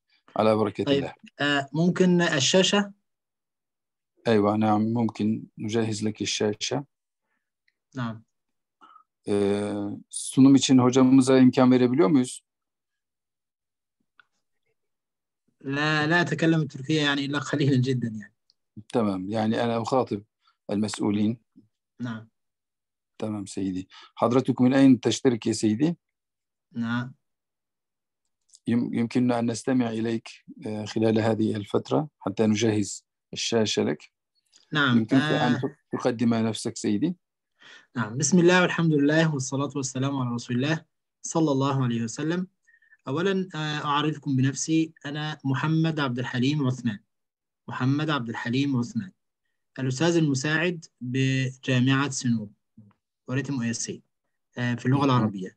جئت إلى هنا منذ سنة تقريبا يعني من العام الماضي. عملت في السنة التحضيرية وعملت في الإلهيات في الصف الأول والثاني واليوكس اختصاص تمام؟ أنا من مصر. وكنت أعمل قبل ذلك في المملكة العربية السعودية. طيب الآن أوضح لكم الشاشة. موضوع حديثي اليوم إن شاء الله سوف أتحدث عن مشروع كتابنا أو الكتاب الذي عملنا منه وبفضل الله عز وجل وفقنا إلى تأليفه ليناسب التعليم الأتراك اللغة العربية وخاصة في الحضر فهو كتاب كتاب المحادثة الشاملة كأنموذج لتدريس المحادثة لطلاب الجامعات التركية. آه، سأتحدث في هذا العرض عن عناصر العملية التعليمية ونسبة الاحتفاظ بالمعلومة عند استخدام طرق التعلم المختلفة. آه، مميزات الكتاب التي تحقق أهداف التعلم ثم بعد ذلك نلجأ إلى الإجابة عن السؤال الذي عرض في آه، هذه الورشة وهو آه، التوصيات. طيب آه، أولا عناصر العملية التعليمية كما نعلم أنها تتكون من أربعة عناصر. أولها المعلم ثم الطالب ثم البيئة التعليمية ويأتي بعد ذلك المنهج التعليمي. كما نعلم أن التطور في البيئة التعليمية يعني ليس من مهمة المعلم ولا من مهمة الطالب. فالبيئة التعليمية تشتمل الصفوف والكليات والجامعات وهذا متوفر والحمد لله. آه، ولكن البيئة التعليمية أحيانا تختلف فلا بد أن يعلم المعلم أن البيئة التعليمية قد تكون في داخل الصف أو قد تكون خارج الصف. يعني مثلا أنت تدرس للطلاب آه، الأطعمة وأنواع الطعام ربما تأخذهم إلى المطعم مثلا حتى يتعلموا أنواع الطعام. فهذه بيئة تعليمية. آه، ربما تدرس لهم الأشجار وأنواع النباتات فهذه خارج الصف هذه بيئة تعليمية وهكذا. ربما تدرس لهم المسجد والصلاة فتأخذهم إلى المسجد وهذه بيئة تعليمية أيضا. ثم يأتي بعد ذلك المنهج. والمنهج هذا والمادة العلمية التي يعني آه، تكون مناط العملية التعليمية لابد أن يطورها المعلم. وهي في العالم كله وفي اللغات كلها تتطور تطورا سريعا. ويجب على المهتمين باللغة العربية تطوير هذه المناهج التعليمية بما يتلائم مع العصر بما يجذب يحقق الجذب والإمتاع والتعلم والفائدة للطالب وفي نفس الوقت يحقق استراتيجيات التعلم التي يتبعها المعلم نفسه. نأتي بعد ذلك إلى شيء مهم جدا. وهو نسبة الاحتفاظ بالمعلومة عند استخدام طرق التعلم المختلفة. آه، من المعلوم أن هناك نوعان من التعلم التعلم غير النشط والتعلم النشط. طيب كلاهما يعطي المعلومة. يعني المعلم عندما يدخل ويقول للطلاب أي معلومة هو قالها؟ هكذا يقولها وهكذا يقول. ولكن يختلف أثر هذه المعلومة على الطلاب باختلاف طريقة المعلم أو طريقة إلقاء هذه المعلومة. فإذا ألقيت كقراءة أو استماع لا يتجاوز الاحتفاظ بالمعلومة لدى الطالب العشرة بالمئة. طيب إذا شاهد الطالب صور يحتفظ بالمعلومة 20% إذا شاهد مشاهدة سمعية بصرية يحتفظ بها 30% أما إذا تحدث بها وكتبها فسوف يحتفظ بها 50% إذا كلف بشيء قام به بنفسه سوف يتحدث بها أو يحتفظ بها بمعدل 75% ثم إذا علمها للآخرين فهي يحتفظ بها 90% وهذا طبعا يعني آه مصداقا للحكمة القائلة يعني إمساك العلم إنفاقه. أو يعني إذا أردت أن تحتفظ بالعلم فلا بد أن تعلمه غيرك. كلما علمت غيرك كلما استفدت أنت. وهذا طبعا بناء على هذا بناء على هذا الهرم التعلم لا بد أن توضع المناهج بهذه الطريقة. المناهج التي تحقق التعلم النشط وتحقق أكبر معدل لبقاء أثر التعلم لدى الطالب. فالطالب أثناء الدرس يقول لك فهمت أستاذ ويعرف المعلومة لكن بعد الدرس بخمس دقائق عشر دقائق بيوم بيومين ينسى هذه المعلومة. أما إذا يعني علمته بهذه الطريقة طرق التعلم النشط فسوف يحتفظ بها لمدة أكثر. طيب نأتي إلى أهمية المحادثة.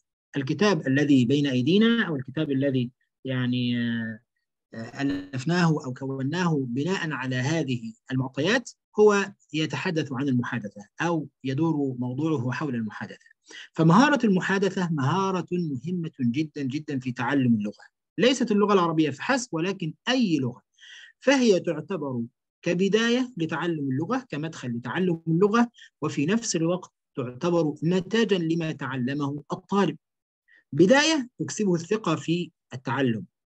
طيب آه، نهاية أو آه، نتاج فهي توضح ماذا تعلم الطالب في جميع فروع اللغة الأخرى في القراءة وفي التحدث وفي الاستماع وفي الكلام وفي الكتابة. كل هذا يعني يكمن في مهارة المحادثة. إذا تحدثت مع طالب ووجدته يتحدث تحدثا جيدا باللغة التي يتعلمها وخاصة اللغة العربية عندها تعرف أنه قد تعلم تعلما جيدا أم لا.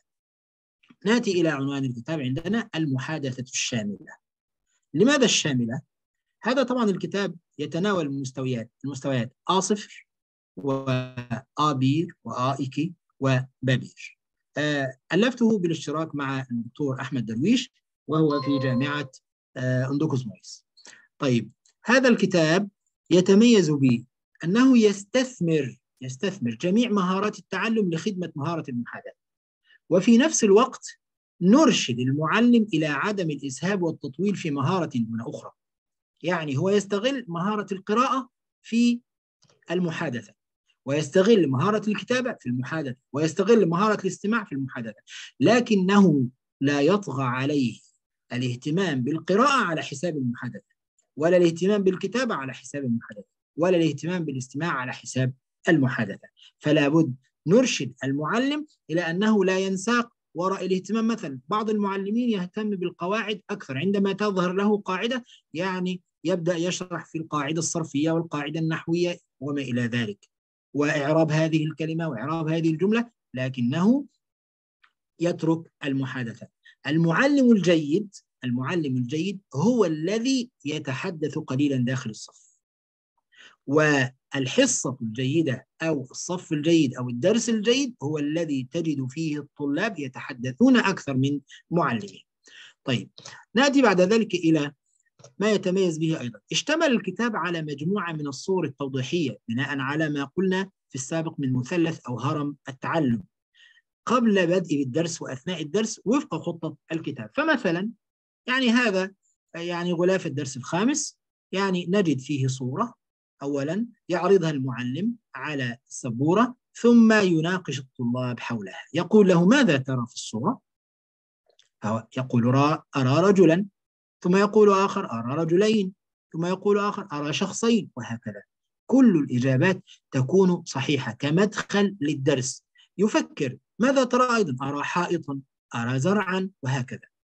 فهذا بداية وكمدخل للدرس يثير الطالب نحو البيئة التعليمية والدرس الذي سيدرسه هنا في أسفل الدرس نجد باركود إرشادات للمعلم وتسجيلات صوتية ومرئية للدرس. هذه الإرشادات للمعلم هي نصائح ذهبية ننصح بها المعلم حتى لا يقع في بعض الأخطاء وحتى يتبعها أثناء الدرس ويحقق الأهداف التي وضع الدرس من أجلها. مثلا عندما يعني يتميز الكتاب أيضا بأنه يشتمل على تسجيلات صوتية ومرئية تفاعلية. هذه التسجيلات تأخذه. هذا الباركود الذي أشرنا إليه في الشريحة السابقة يأخذه إلى اليوتيوب يستمع فيه إلى الدرس. وهناك أيضا صفحة للفيسبوك على صفحة الكتاب على الفيسبوك. تعالوا نأخذ نموذج. نموذج مثلا هذا من الكتاب هذا الحوار الثاني في الدرس. عندما يرى الطالب هذه الصورة في الدرس يضغط على الباركود أو يمسح الباركود داخل الدرس. يأخذه الباركود إلى رابط هذا الرابط يحوله على اليوتيوب فيسمع هذا الدرس. نفس الدرس هذا هذه نفس الصورة يسمع هذا.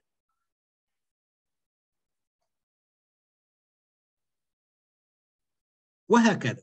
طيب يسمع الدرس بهذا الشكل عنده في الكتاب ويأخذه إلى اليوتيوب يسمعه الدرس. لماذا؟ لأنه عندما يحضر الحصة والدرس مع المعلم داخل الصف يسمع ويتكلم ويتحدث. عندما يذهب إلى البيت كيف يذاكر وكيف يقرأ وكيف يراجع ما درس؟ لابد أن يكون هناك مادة صوتية للكتاب. من شأنها أن تثبت المعلومة لديه. طيب. من مميزات الكتاب أيضا تنوع التدريبات وتدرجها. كما نعلم جميعا أن هناك أنواع من التدريبات المختلفة. هناك تدريبات تسمى التدريبات الآلية. التدريبات الآلية التي يتم فيها التحكم التام في استجابة الطالب. أنت تعرف ماذا سيقول الطالب وتفرض عليه ماذا سيقول وهو يكون يمشي في إطار كالسكة الحديد كما نقول. لا يستطيع أن يحيد عنه.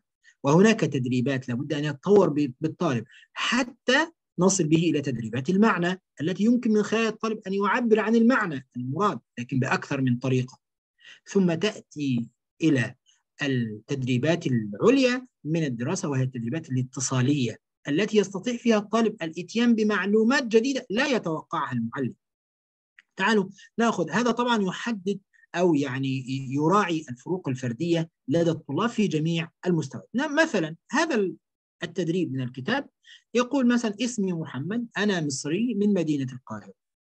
أنا أضع له هذا السؤال اسمي وأضع له فراغ أنا فراغ من مدينة كذا. ثم أضع له الجواب هنا. يقول اسمي عدنان أنا سوري من مدينة دمشق. هذا تدريب آلي. نتحكم فيه تحكما تاما في إجابة الطالب. طيب بعد هذا التمرين بعد ما يؤدي هذا التمرين نقول له في الحقيقة من أنت؟ يقول اسمي فلان. أنا تركي من مدينة بورصة. مثلا عندها نكون قد وصلنا به إلى إعطائه معلومة معينة.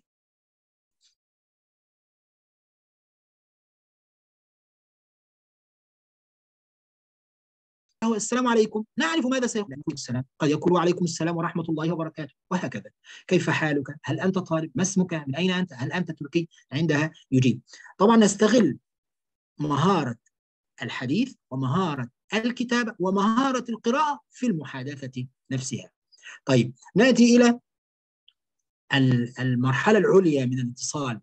تحاور مع زميلك مستعينا بالأسئلة التالية. عندها يعقد محاورة بينه وبين زميله الذي يجلس بجانبه في الصف. يعني يتحاور معه. يقول له ما اسمك؟ يقول اسمي فلان. ويرد عليه الآخر ما اسمك؟ يقول أنا اسمي فلان أيضا. وهكذا. عندها إذا أخطأ أحدهما يعلمه الآخر. وبذلك نكون قد توصلنا إلى تعليم الأقران تعليم الأقران. فالأقران عندما يتعلمون وعندما يعطي الطالب المعلومة لزميله عندها تثبت لديه ثباتا شديدا. طيب ثم يأتي بعد ذلك إلى الإبداع والإنتاج من عنده.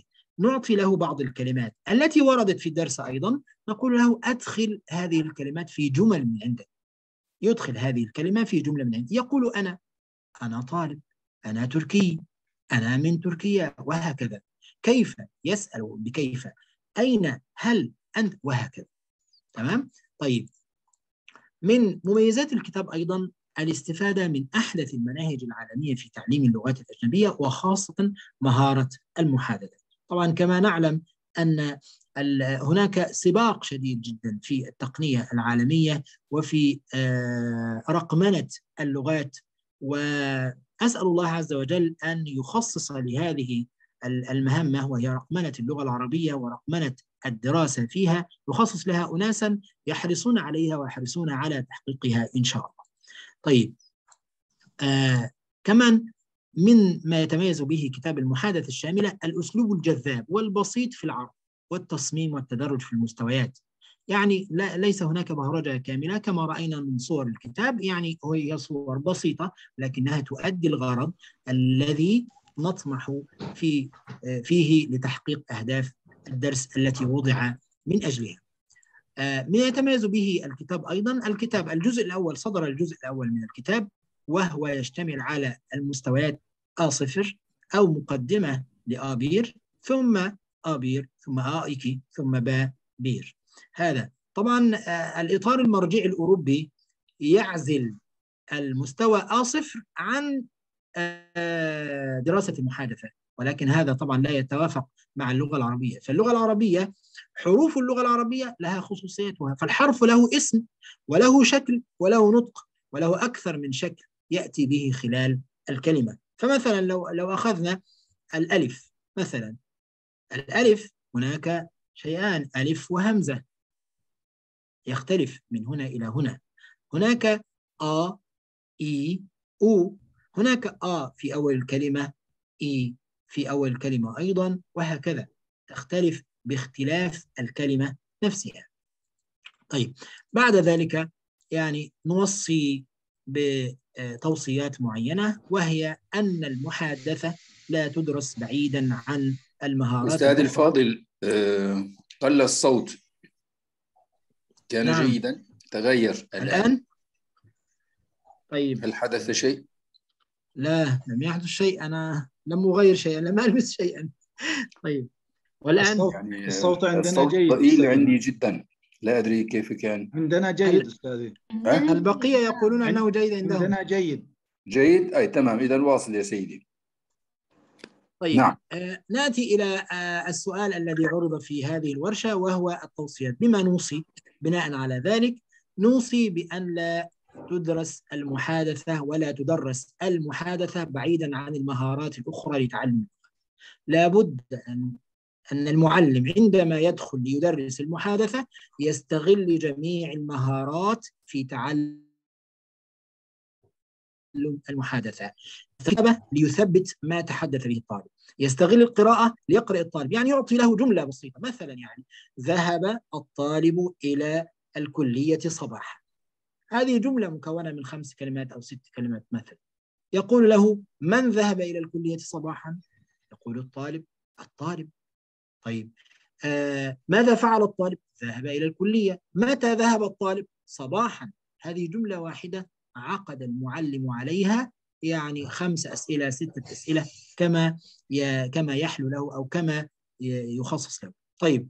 آه الطالب هنا استغل مهارة القراءة. هناك طالب ضعيف يقرأ الطالب قراءة جيدة. يعني هناك طالب يقرأ الجملة ثم تسأله ثم تسأل طالبا آخر. ثم تطلب منه أن يضع سؤالا على هذه الجملة. ثم تطلب منه أن ينشئ جملة مثلها. قل له غير كلمة. يمسح كلمة ويغيرها. يقول له ذهب الطالب إلى ويضع له فراغ. هكذا تدرس المحادثة. طيب أيضا من التوصيات التي نوصي بها اتباع نظام السلاسل في التعليم. فلا يدرس كل فرع كمادة منفصلة عن الأخرى نجد بعض أساتذتنا في الجامعات يعني عندما يدرسون الصرف.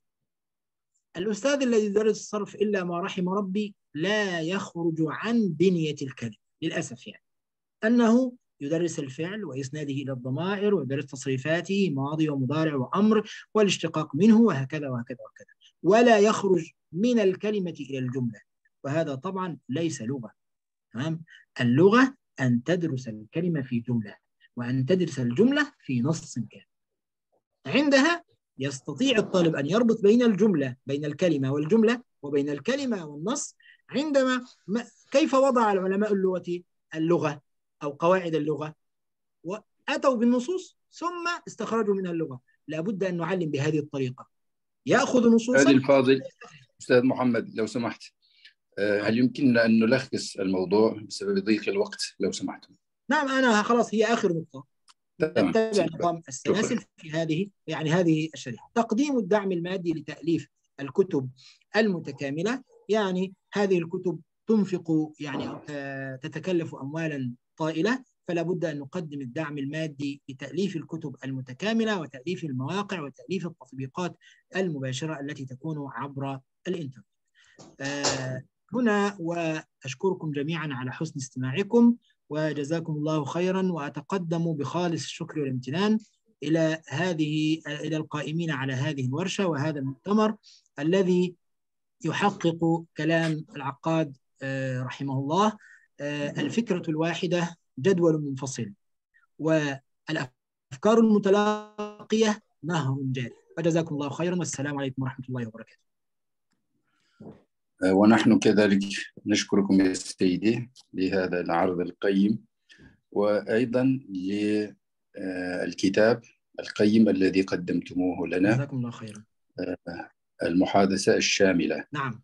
فإن شاء الله يستفيد الجميع من خبراتكم هكذا. جزاكم الله خيرا. فهذه من وظائف أبناء اللغة العربية إخواننا العرب. الذين يتواجدون في بلدنا حاليا أن يقدموا لنا خدمات مثل هذا. ومن وظائفنا نحن أن نستفيد من هذه التجارب وأن نستغل هذه الفرصة وجودكم معنا. فنكمل بعضنا البعض حتى ننتج إن شاء الله أعمالا جيدة مثل هذا وأمثاله إن شاء الله. جزاكم الله خيرا أستاذنا الفاضل. آه، يعني هذه آه، الأعمال ذكرتني شيئا مهما في الأتراك. يعني أظن أن الأتراك آه، لهم خصوصية في المحادثة. يعني حسب رأيي آه، من أكثر الشعوب آه، صعوبة في التحديث. مم. يعني لا يمكنكم يعني الأجانب أو الآخرين أن يجعلونا نتحدث خاصة بالعربية. هذا صعب جدا بالنسبة للأتراك. والحاجز آه، الأكبر حسب رأيي في هذا هو الخجل. الخجل آه، من أمرين آه، الخجل من الأخطاء أولا والخجل الآخر مرتبط بهذا من الآخرين. فيعني لا أدري الشعوب الأخرى كيف حالهم ولكن نحن نعرف الشعب التركي عندنا يعني الأخطاء خاصة عندما تتحدث باللغة الأجنبية آه، أمام الآخرين فهذا آخر الدنيا بالنسبة لنا نهاية العالم يعني. فلهذا السبب نجد أن كثيرا من الطلاب والطالبات آه، رغم أنهم يعرفون كثيرا من القواعد ولديهم مفردات طائلة لا بأس بها ولكن لا يتجرؤون بالمحادثة ربما أنتم آه، تصادفون هذا. هذا هذا يرجع أستاذي إلى النقطة التي تناولتها وهي أن الطالب يتعلم مفردات بعيدا عن الجملة والنص. نعم. هذه هذا مشكلة صحيح. كبيرة. هذا صحيح. وأيضا بالإضافة إلى ذلك آه، الطلاب عندنا يتعلمون المعلومات للتخزين ليس للاستخدام. من أهم العوائق حسب رأيي هذا. يعني يستهلك فيخزن فيفكر في يوم من الأيام عندما أتحسن سأستخدم هذه المعلومات. نعم. ولكن هذا اليوم لا يأتي. يعني لأنه ليس بواعي على أنه آه، يتحسن باستخدام هذه المعلومات شيئا فشيئا حتى يصل إلى المستوى المرجو عنده. ولكن هو يتوقع مستوى يعني عالي جدا فيصل إليه وهو يتحدث آه، بشكل كامل دون أي خطأ. فهذا من من الأخطاء الكبرى التي. نرتكبها آه، ونراها في طلابنا. وشيء مهم أيضا أريد أن أذكر هذا للإخوة. آه، الخجل أيضا عائق كبير. فمن الأشياء التي تزيد هذا الخجل هو أن يكون أن تكون الصفوف آه، خليطة آه، بين الذكور والإناث. فالطالب عندما يرتكب خطأ أمام البنات والبنت آه، عندما ترتكب خطأ أمام الطلاب هذا يضعف الخجل عنده. فلهذا السبب نحن وجدنا حلا في مرمرة. قبل هذا كنت قد طبقت هذا في يلوى هذا هو الحل أن نفصل بين الذكور والإناث في الصفوف. فهذا الأمر يسهل أمر أمر الأستاذ والطلاب معا. آه، لأن الطالب بين آه، الطالبات والطالب بين الطلاب إذا أخطأ يكون فيما بينهم ولا يخجلون آه، فلا ينزعجون من هذه الأخطاء. ولكن إذا كانت الصفوف خليطة كما ذكرت لكم يعني يتفاقم تتفاقم المشكلة. فلهذا أنصح آه، للإخوة إذا استطاعوا أن يفصلوا بين الذكور وال- والإناث في الصفوف التحضيرية حسب تجاربي هذا أمر مفيد. نعم هذا مطبق عندنا والحمد لله يعني في جامعة سنوب. لكن نعم. هناك خطأ جسيم عندنا وهو لغة التدريس هي اللغة التركية. أيوة. مكتوب هكذا على موقع الجامعة يعني. أن الطالب عندما يختار جامعة سنوب يقول أن لغة التدريس اللغة اللغة التركية. كيف يدرس اللغة التركية اللغة العربية باللغة التركية؟ يعني إذا تحدث الأستاذ باللغة العربية فقط يقول له أستاذ اللغة الرسمية للتدريس هي اللغة التركية. يعني آه، هل هذا شامل للصفوف التحضيرية كذلك؟ نعم يشمل هذا. يعني آه، مثلا عندنا الصفوف التحضيرية آه، لغة التدريس عندنا اللغة العربية فلهذا لا يمكن أن يتذرع الطالب بهذا الشكل. لا يعني خذ عندك أكبر من هذا أن عندنا السنة التحضيرية اختيارية. أوف أوف أوف هذه مشكلة كبيرة. هذه مشكلة يعني هذه يعني مشكلتان كبيرتان جدا يعني لغة التدريس اللغة التركية. ثانيا أن السنة التحضيرية اختيارية. وإذا نجح الطالب في السنة الاختيارية في السنة التحضيرية لا يدرس اللغة العربية في السنوات التالية. أوه غريب. هذا أمر يجعل الإنسان اختيارا بالمعنى التركي. أمر اختياري يجعل الإنسان اختيارا يشيخه نعم. يعني. خيرا إن شاء الله. بارك الله فيكم يا سيدي. آه، الآن. آه، الآن نعود إلى الأستاذ آه، أستاذة جنل إذا كانت جاهزة. هل أنت معنا أستاذة جنل نعم أنا جاهزة معكم أهلا وسهلا. إن شاء الله حلت المشكلة في الصوت. إن شاء الله أتمنى. نعم هذا يبدو جي نعم. جيدا. آه، الصوت نعم. واضح. نعم نعم. تفضلي. آه، الميكروفون لك. مشكورة. مشكورة. آه، إن إن شاء الله تحدثنا بالعربية والآن علي أن أنتقل إلى التركية Tamam. Ee, Avlen e, birinci e, ilk olarak ben Bakü'den, Azerbaycan'dan tüm hocalarımızı, değerli hocalarımızı ve e, iştirak, toplantı iştirakçılarını selamlıyorum. Ee, e, başta Yakup Tüvelek hocamız olmakla onun ekibine e, tüm e, zahmet çekenlere e, teşekkür ediyorum. Teşekkürlerimi sunuyorum. Ben de benim için çok ilk defa olarak aralarınızda şöyle sunum yapacağım. Kusurlarıma göre özürlerinizi, affınıza sunuyorum, özür dilerim. Sunumu ben çok düşündüm. Biz de Bakü Devlet e, Üniversitesi'nde böyle hmm, bir dakika.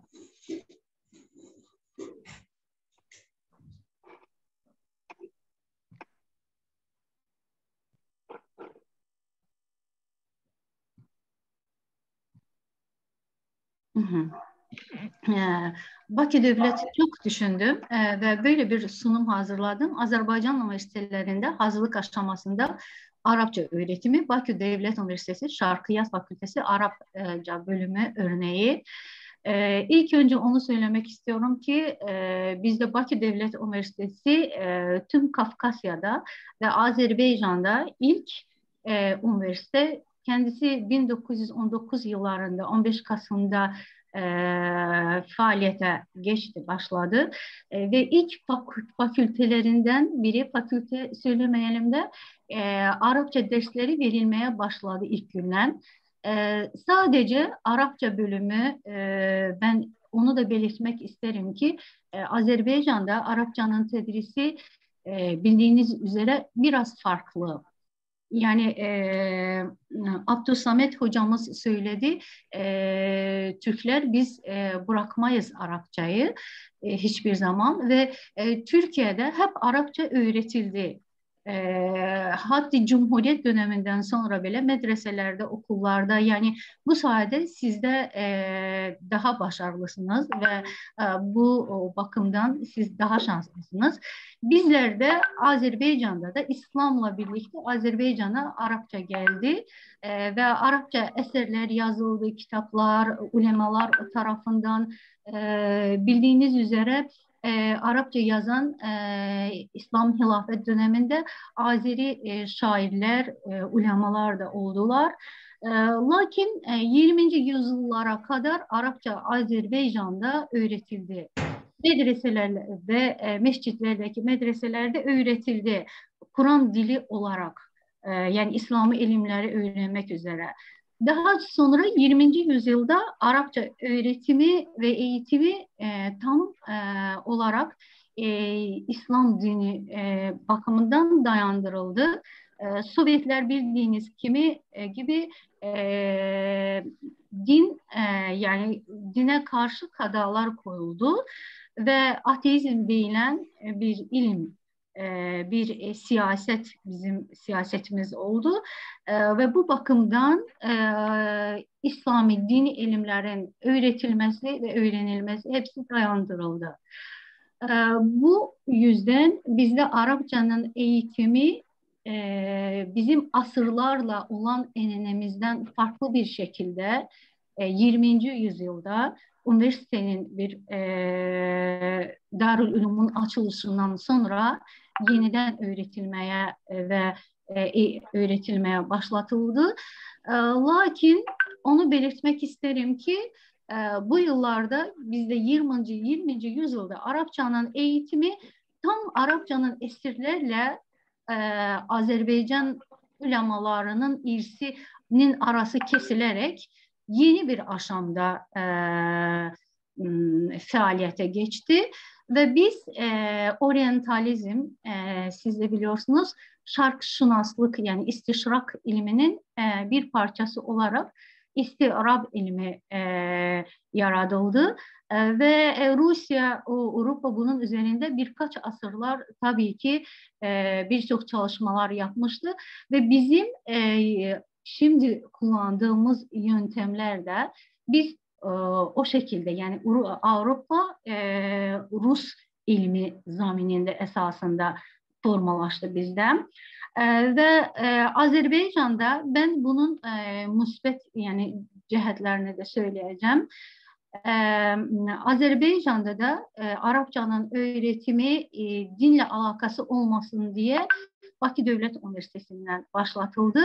Bakı Dövlət Universitetində bu bizim eski binamız Bakü Devlet Üniversitesi'nin bu yeni binası 100 e, artık 103 yaşında Bakü Devlet Üniversitesi.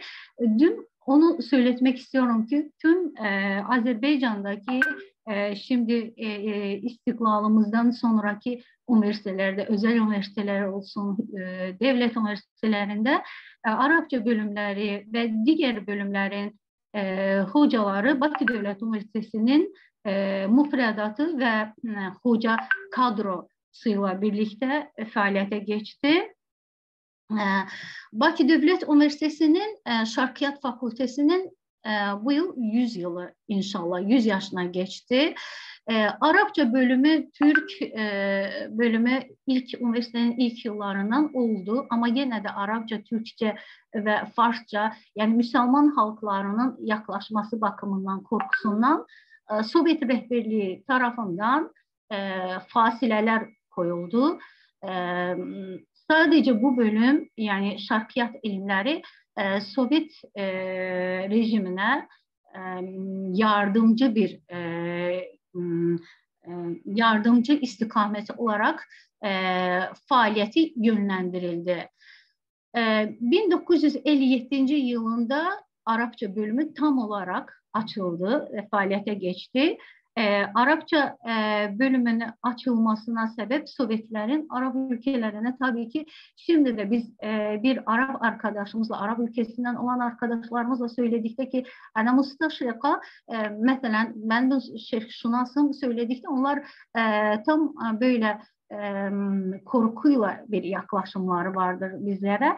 Onun için mesela biz söylüyoruz ki biz şarkıyat, şark e, bilimleri e, fakültesindeniz. Musleşrik o çekimi kendimizi e, değil, Arapça, e, Arap dili ve e, edebiyatı mesela e, hocası kimi, e, elemanı kimi takdim ediyoruz.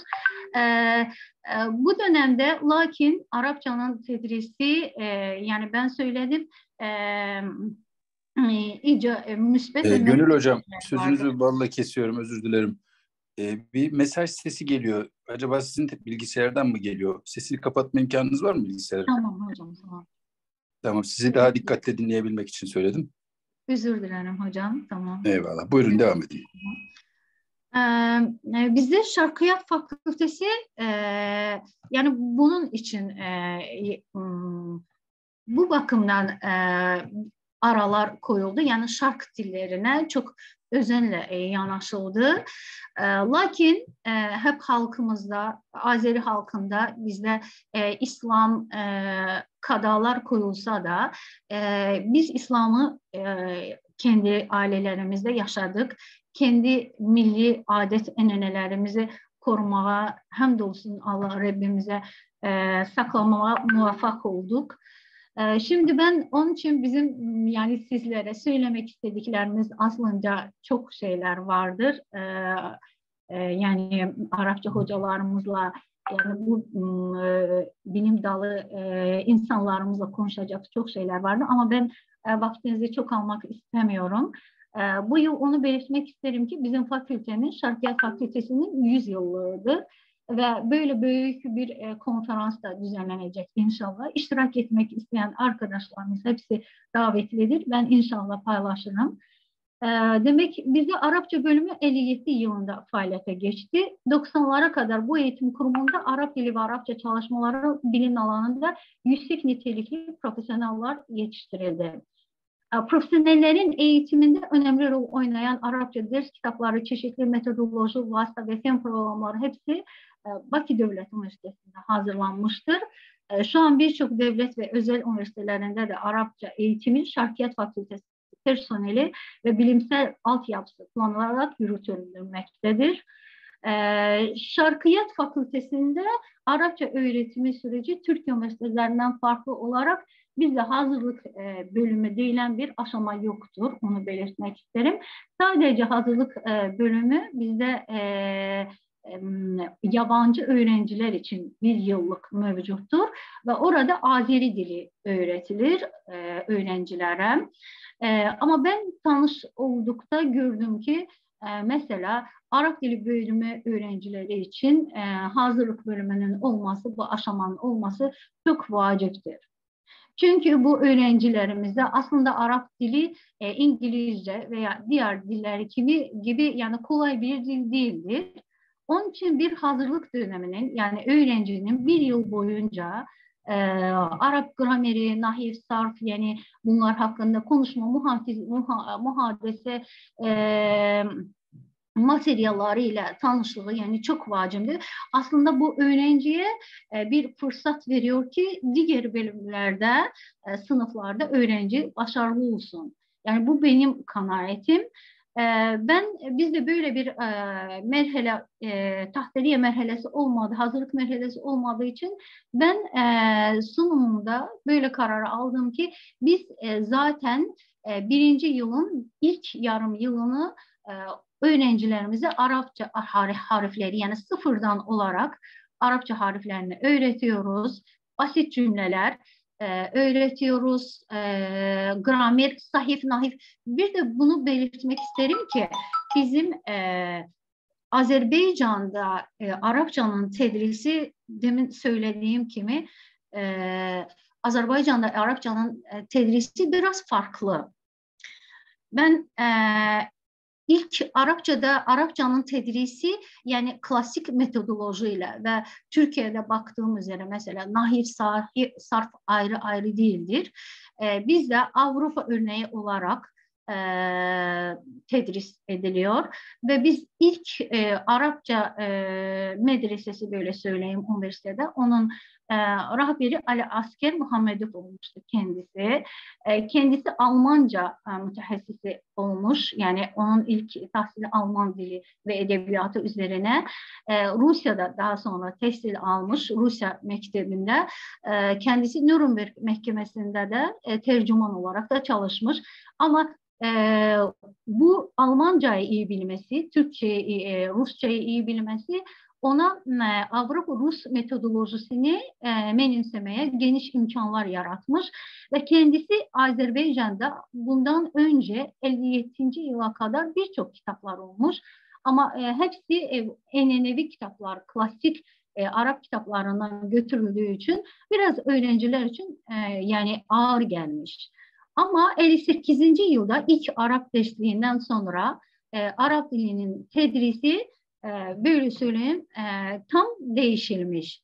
Ve Alisker Muhammedov'un mesela metodolojisi neye esasen bizde ve Azerbaycan'da Arapça böyle e, tedris ediliyor. Bizim ders kitabımızda e, ben burada örneğin verdim.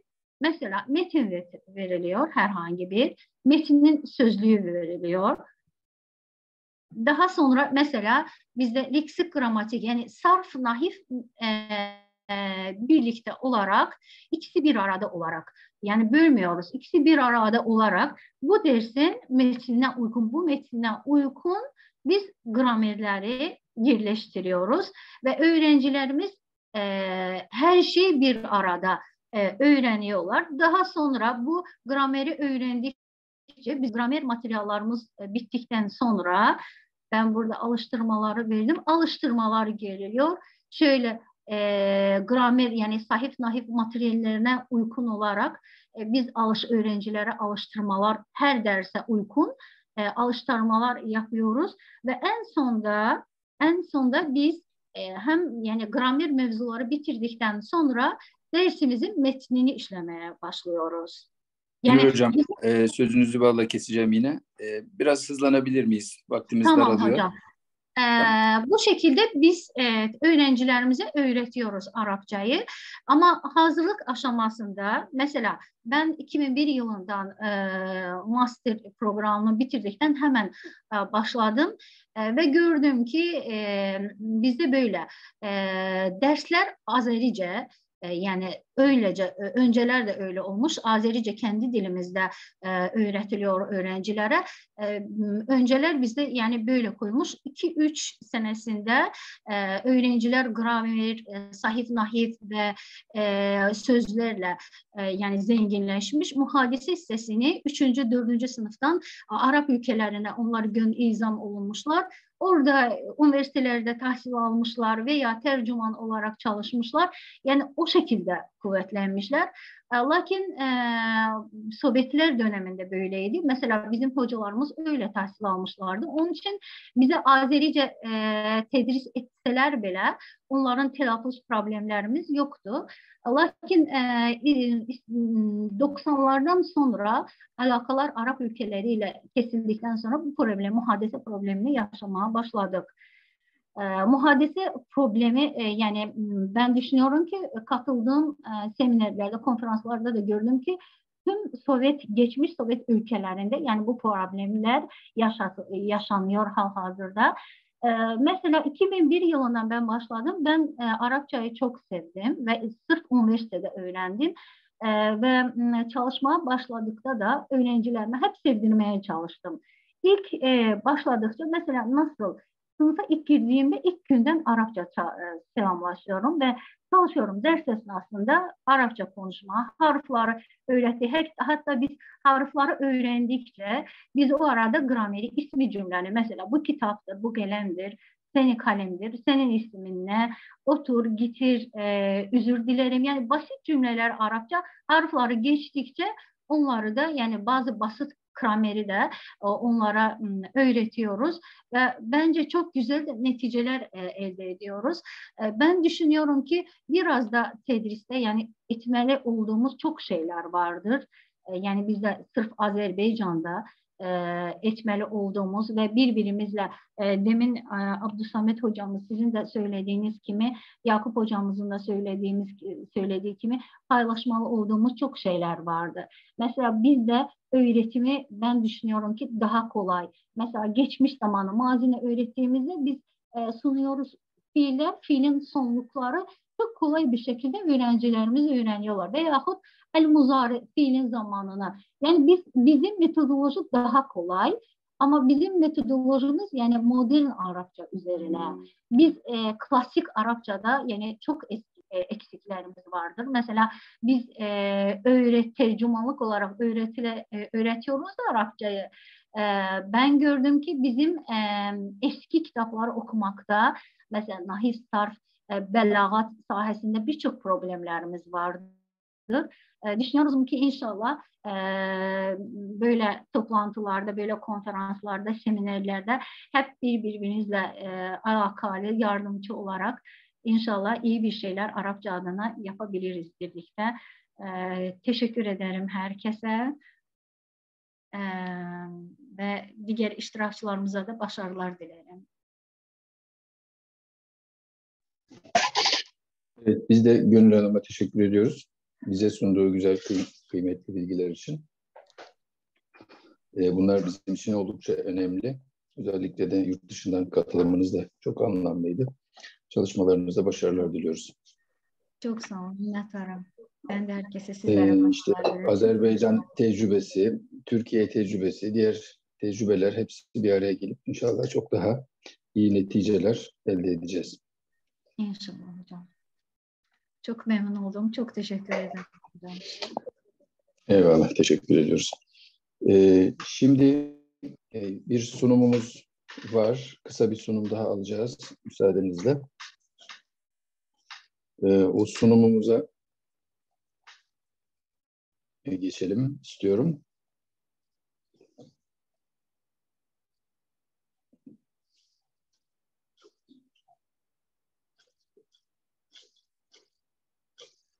Evet, Mesut Cevher e, hocamızdan herhalde zannedersem alacağız değil mi?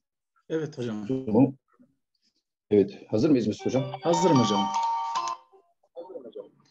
Tamam sevgili hocam. O zaman e, hemen sizi dinlemeye geçebiliriz. Buyurun. Bismillahirrahmanirrahim.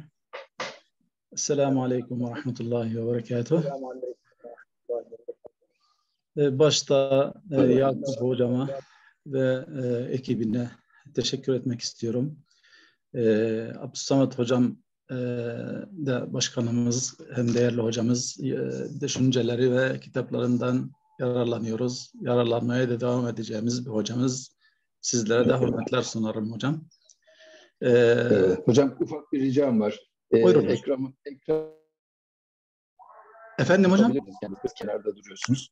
Vassıtul imam Vassıtul imam hadisiyle hareket edelim. Ekran tam ortasına gelebilir misiniz? Ekranı değiştirme imkanı varsa. Biraz Şimdi- kenarda bu gözüküyorsunuz ekranda. Şimdi uygun mu hocam?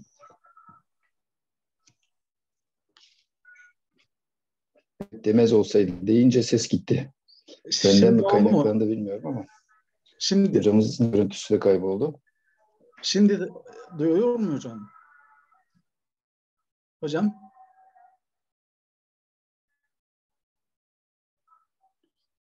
Peki el- diğer hocalarımız duyabiliyor mu şimdi? Hocam ses geliyor. Mesut Hocam çok güzel duyuyoruz Isparta'dan. Tamam hocam. Evet, şu Sayın- anda Sayın nasıl hocam, Ramazan durum? hocam hoş geldiniz hocam. Teşekkür ettik. Hocam. Burada Teşekkür ederim hocam. Allah razı olsun. Ee, hocam e, kendimden e, az bir şey de bahsetmek isterim başlangıç. Arkadaşlar tanımayan arkadaşlarımız tanısın diye. Ee, ben e, doçent doktor Mesut Cevher. E, hem Mısır hem e, Türkiye vata- vatandaşıyım. E, Türkiye'de 96'dan beri e, yaşıyorum. E, dolayısıyla şu anda zannedersem Mesut şu anda. Kırıkkale Kırıkkale Üniversitesi'nde İslami İlimler e, Fakültesinde Arap Dili Bir bağlantı sorunu yaşadık Mesut hocam galiba. Hocam sesim geliyor mu?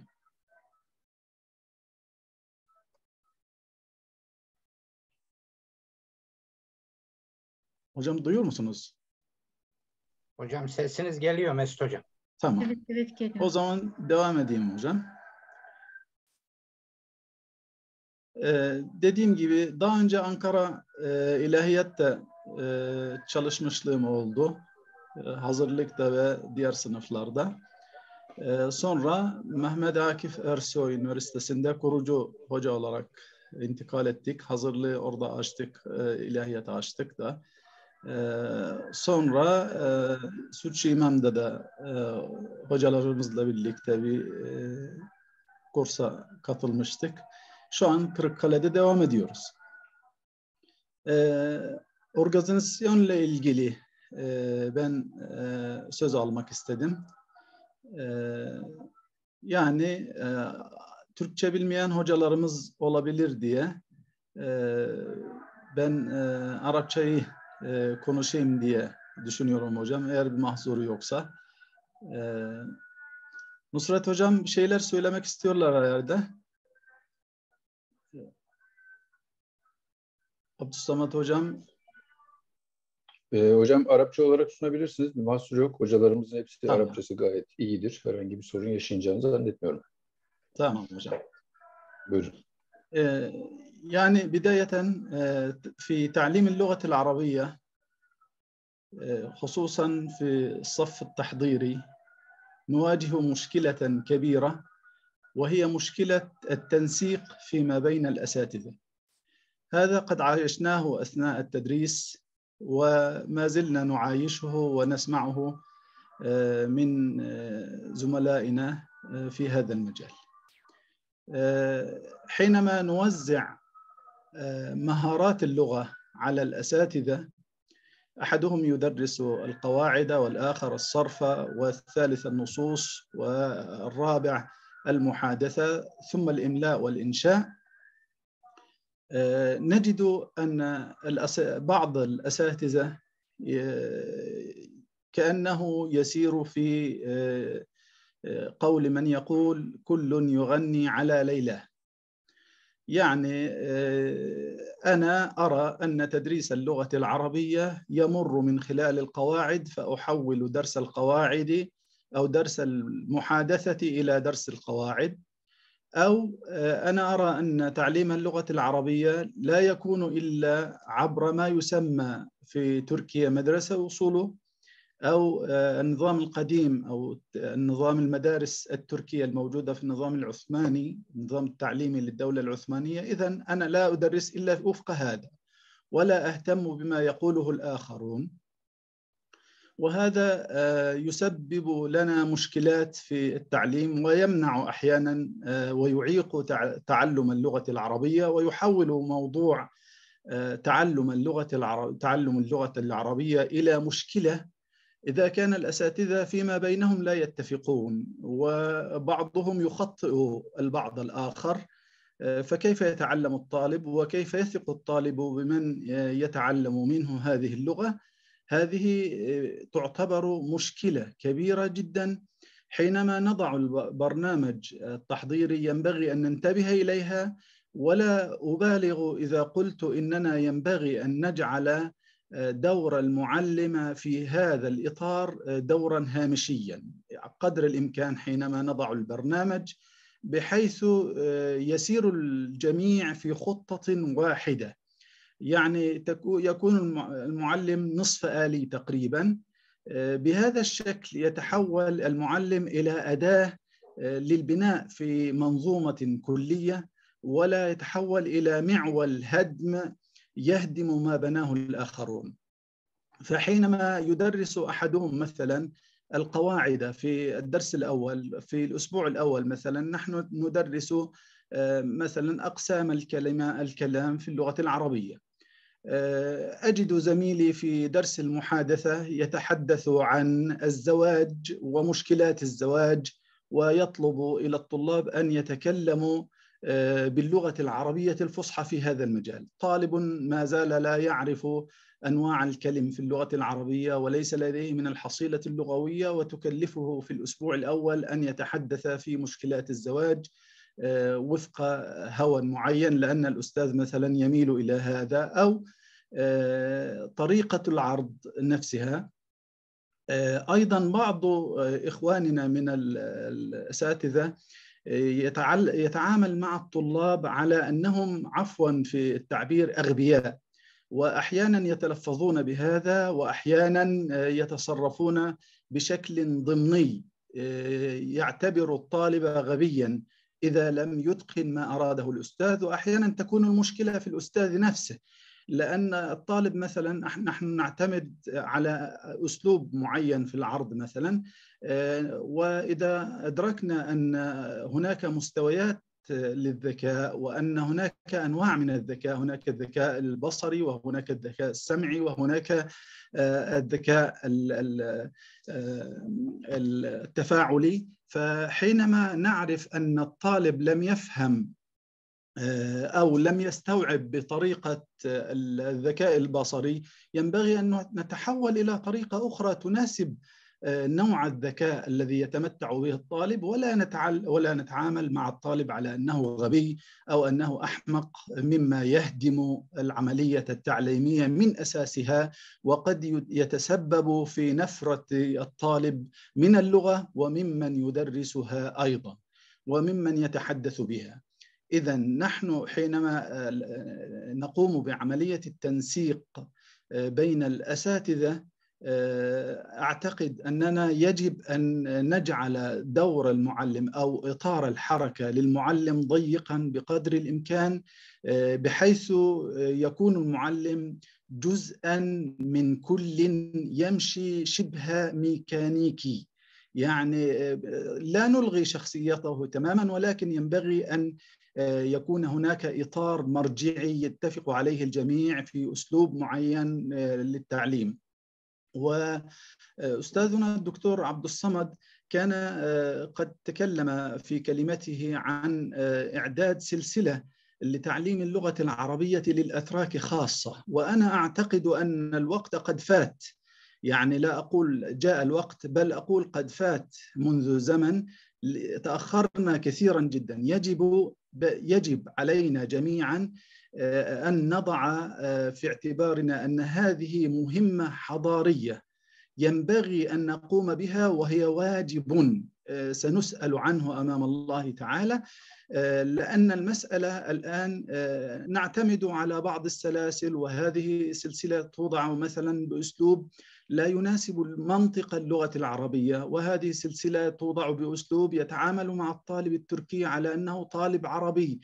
فحين إذا وضعنا سلسلة أنا أعتقد أننا إذا وضعنا سلسلة يشترك فيها كل أساتذة اللغة العربية في تركيا العاملون في هذا المجال أعتقد أنها ستكون ناجحة. وليس من العيب أن نتعلم من أخطائنا نجعلها للتجربة سنة وسنتين ونلاحظ في الميدان الأخطاء ونطور من هذه السلسلة. أنا أعتقد أن هذا التنسيق ينبغي أن يكون على مستوى الجامعات كلها. إذا وضعنا سلسلة لتعليم اللغة العربية اولا يجب أن يشترك فيها الجميع. ثانيا يجب أن نحدد الإطار. ثالثا يجب أن يدرسها الجميع بحيث يكون النظام موحدا في تركيا كلها إذا استطعنا أن نقوم بعمل مثل هذا أعتقد أننا سنكون أقرب للنجاح بإذن الله تعالى. آه، مسألة آه، استخدام الكلمات التركية مثلا الموجودة الكلمات العربية الموجودة في اللغة التركية كما أشار إليها أستاذنا إذا نبهنا كل الأساتذة إلى هذا سنجد آه، فيه خير كبير أيضا. أنا جربت هذا ووجدت نتيجته في طلابي. الإصرار على تكلم اللغة العربية في كل الدروس تقريبا. في أنقرة كانت لي تجربة آه، جيدة. أنا كنت أدرس فرع القواعد وكنت أصر على أن أتحدث آه، باللغة العربية الفصحى وأنا أشرح القواعد في السنة التحضيرية. وحتى آه، لي خاطرة في هذا. إذا سمحتم لي أود أن أمر بسرعة. مثلا في مرة من المرات جاءتني طالبة من الطالبات ما زلت أذكر اسمها كانت تريد أن تخرج إلى المستشفى وقلت وقالت لي هجم هستانا gidebilir باللغة التركية. قلت لها bunu Arapçaya söyle Arapça olarak söylersen çıkarsın söylemezsen çıkamazsın فقالت البنت يا أستاذ أنا أنا أنا وبدات تفكر ثم قالت أنا مستشفى. ضحك الطلاب جميعا وحولت المسألة إلى مزاح وقلت لها تفضلي يا مستشفى. وبعد ذلك أخذت أهتم بهذه الطالبة. المستشفى جاءت أهلا وسهلا بك أنت ممتازة أنت جيدة وحاولت أن أشجعها لتتكلم. آه، بعدما تركت أنقرة وذهبت إلى بوردر آه، تقريبا آه، بعد ثلاث سنوات وجدتها تتصل بي وتقول أنا الآن أريد أن أكتب باللغة العربية كتابات أكاديمية وأريد مساعدتك في هذا الإطار. إذا تشجيع الطالب للحديث بالعربية وتشجيع الطالب على الخطأ. أنا أقول لطلابي إذا لم تخطئ لن تتعلم. أنا حينما كنت أتعلم اللغة التركية أقص لهم ولكم مثلا بعض الأشياء. كنت أصر أن أتحدث باللغة التركية وأقول لإخواني من العرب burası Türkiye, Türkçe konuşulur. فأحد الزملاء قال لي يا أخي أنت عربي وأنا عربي. ووقتها كنت أعمل في السفارة السعودية. ف... وكنت أصر أن أتحدث باللغة التركية.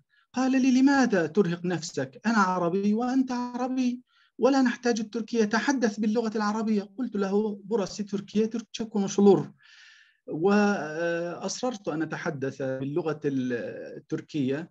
ثم سألته أريد أن أقول له يا أخي هل لديك قلم أحمر؟ قلت له آبي كزرتلمش قلم زوارمة فضحك طبعا ضحكا كثيرا جدا وأجاب بطريقة ساخرة جعلتني أتعرق. قال لي حشلن مش قلم موار الإخوة العرب يعني قال لي ليس لدي قلم محمر. أنا سألته هل لديك قلم محمر؟ قال لي لا ليس لدي قلم محمر وإنما لدي قلم مسلوق. وطبعا ضحك كل من في المجلس وخجلت حينها لكن قلت أنا سأتعلم التركية وسأتحدث أكثر منك بها وسأتقنها أفضل منك إن شاء الله. وفعلا أتقنتها وأنهيت دراسة الدكتور الدكتوراه وصديقي هذا لم ينتهي من الماجستير وطلب مني المساعدة فيما بعد. ما ما أود أن أقوله هنا هو تشجيع الطالب التركي بمعنى إذا لم تخطئ لن تتعلم. كلنا بشر خصوصا في مجال اللغة الأجنبية. نحن حينما نتعلم يجب أن نخطئ. إذا لم نخطئ لن نتعلم. في هذا الإطار إذا وضعنا إطارا للأساتذة نتفق فيه. أرجو أن يتسع صدر زملائي لما أقول بعضنا يدخل الفكر الديني مثلا إذا كان يختلف مع أحد الأساتذة في فكر ديني أو فكر سياسي أو في قناعة شخصية يقحمها في موضوع التعليم وهذا يفشل العملية التعليمية. أفكارنا وعلاقاتنا الشخصية ينبغي أن تنفصل تماما عن التعليم. ينبغي التعليم مهمة مقدسة. ينبغي أن تكون فوق كل شيء فوق الاتجاهات فوق حتى الجنسيات فوق العرقيات. التعليم مهمة مقدسة هي رسالة الأنبياء. إذا وضعنا خطة وبرنامجا ينسق بين الأساتذة في السنة التحضيرية تنسيقا جيدا وإذا كان لدينا تنسيق فيما بعد ذلك في الدروس التي تلي السنة التحضيرية لأن بعض الكليات أرى فيها مثلا درس للترجمة وبعض الكليات الأخرى درس البلاغة. بعض الكليات الأخرى النصوص الأدبية بعض من الكليات تدرس مثلا لغة الإعلام والصحافة.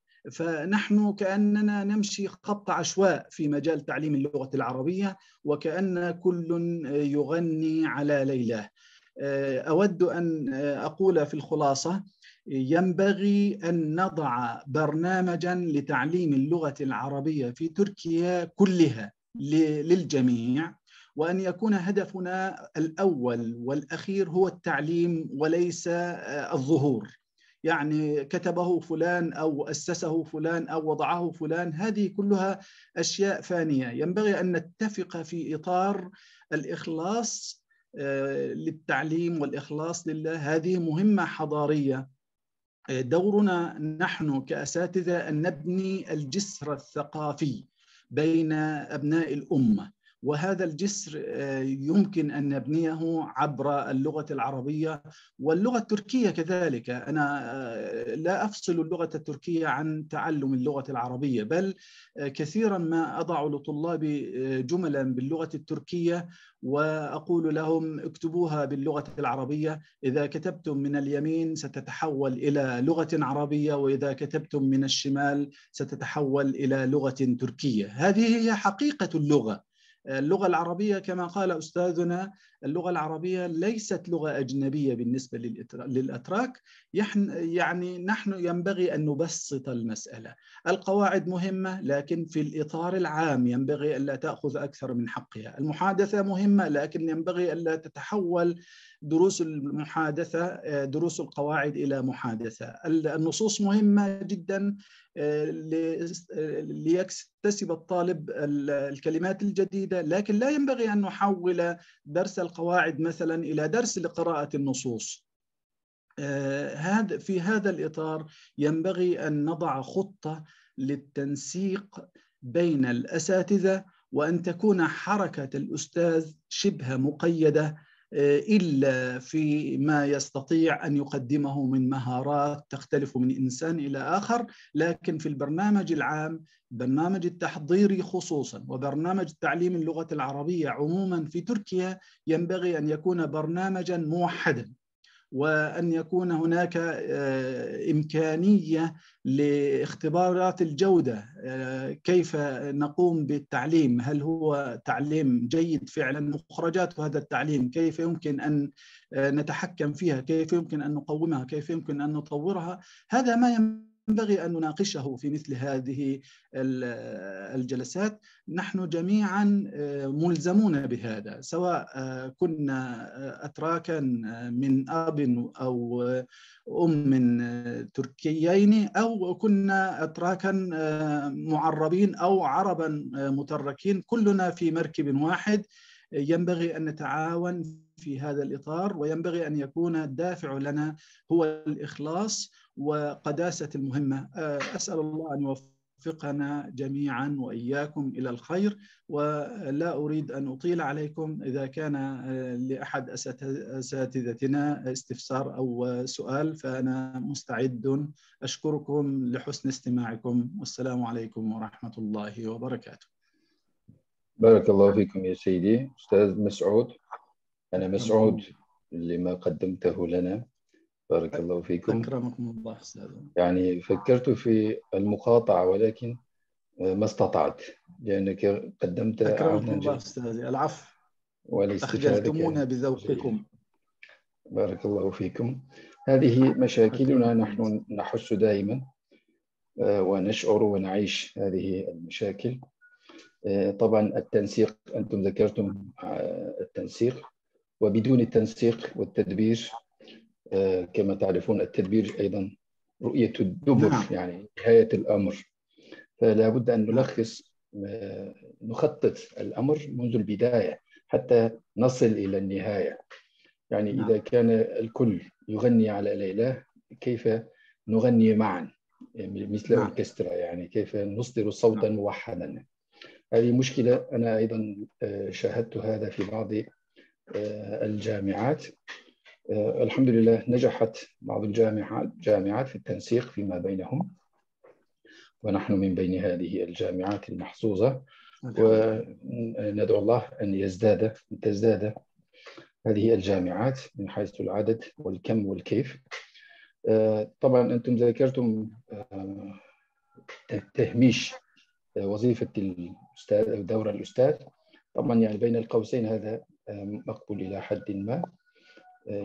هذا أظن أشرتم إليه من باب التأكيد في نعم أستاذي ما ما قصدته هنا عفوا ما قصدته هنا في وضع البرنامج ألا يكون هناك فرصة للأستاذ أن يغير المنهج الذي وضعت وضعه الواضعون بحيث مثلا يتحول الدرس إلى درس آخر. هذا ما أقصده. نعم. أنا أنت ذكرتني شيئا أمر عشناه قبل سنوات. كان عندنا أستاذ قيم من إخواننا الأتراك الذين عاشوا في البلاد العربية. وكان يدرس وكان ناجحا ولكنه كان عنده بعض الأفكار في التدريس. فنبهته نبهناه بأن يلتزم بالمنهج المتبع الجماعي ولكنه أصر على المنهج نفسه. فقلنا له يعني, يعني أخي يمكنك أن تقترح علينا بعض الأفكار.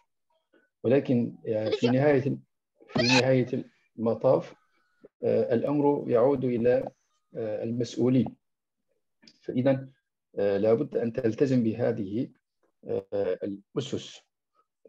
فهو رأينا أنه هو يصر على منهجه. وقلنا له نشكرك جزيل الشكر. وبعد ذلك يعني فصل عقده.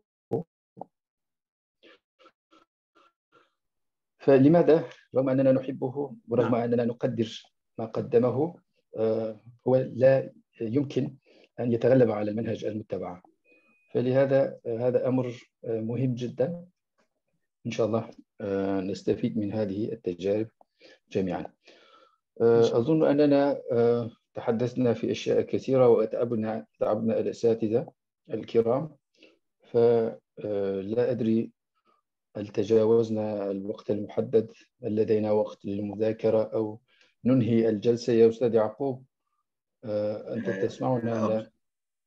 دكتور عبد الصمد أشكرك على هذا التقديم والأرض الجميل.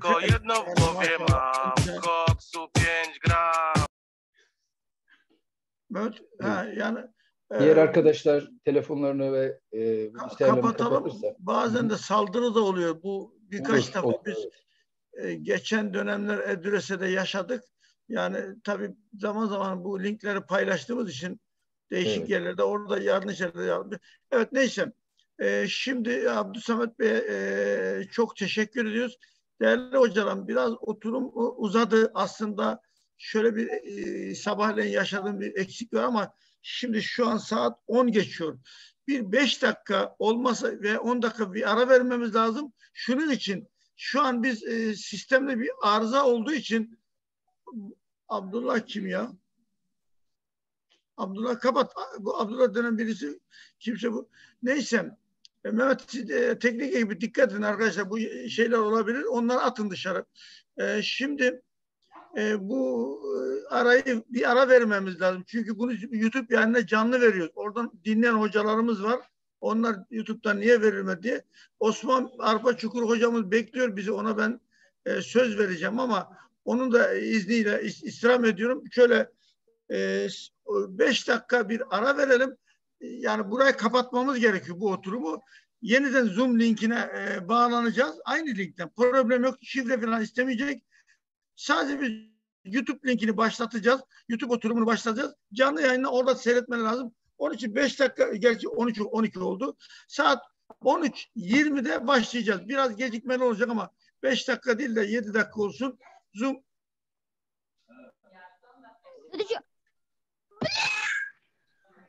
bu Ahmet'i at çıkar bu Ahmet'ten adam kimse Ahmet'i kaldır.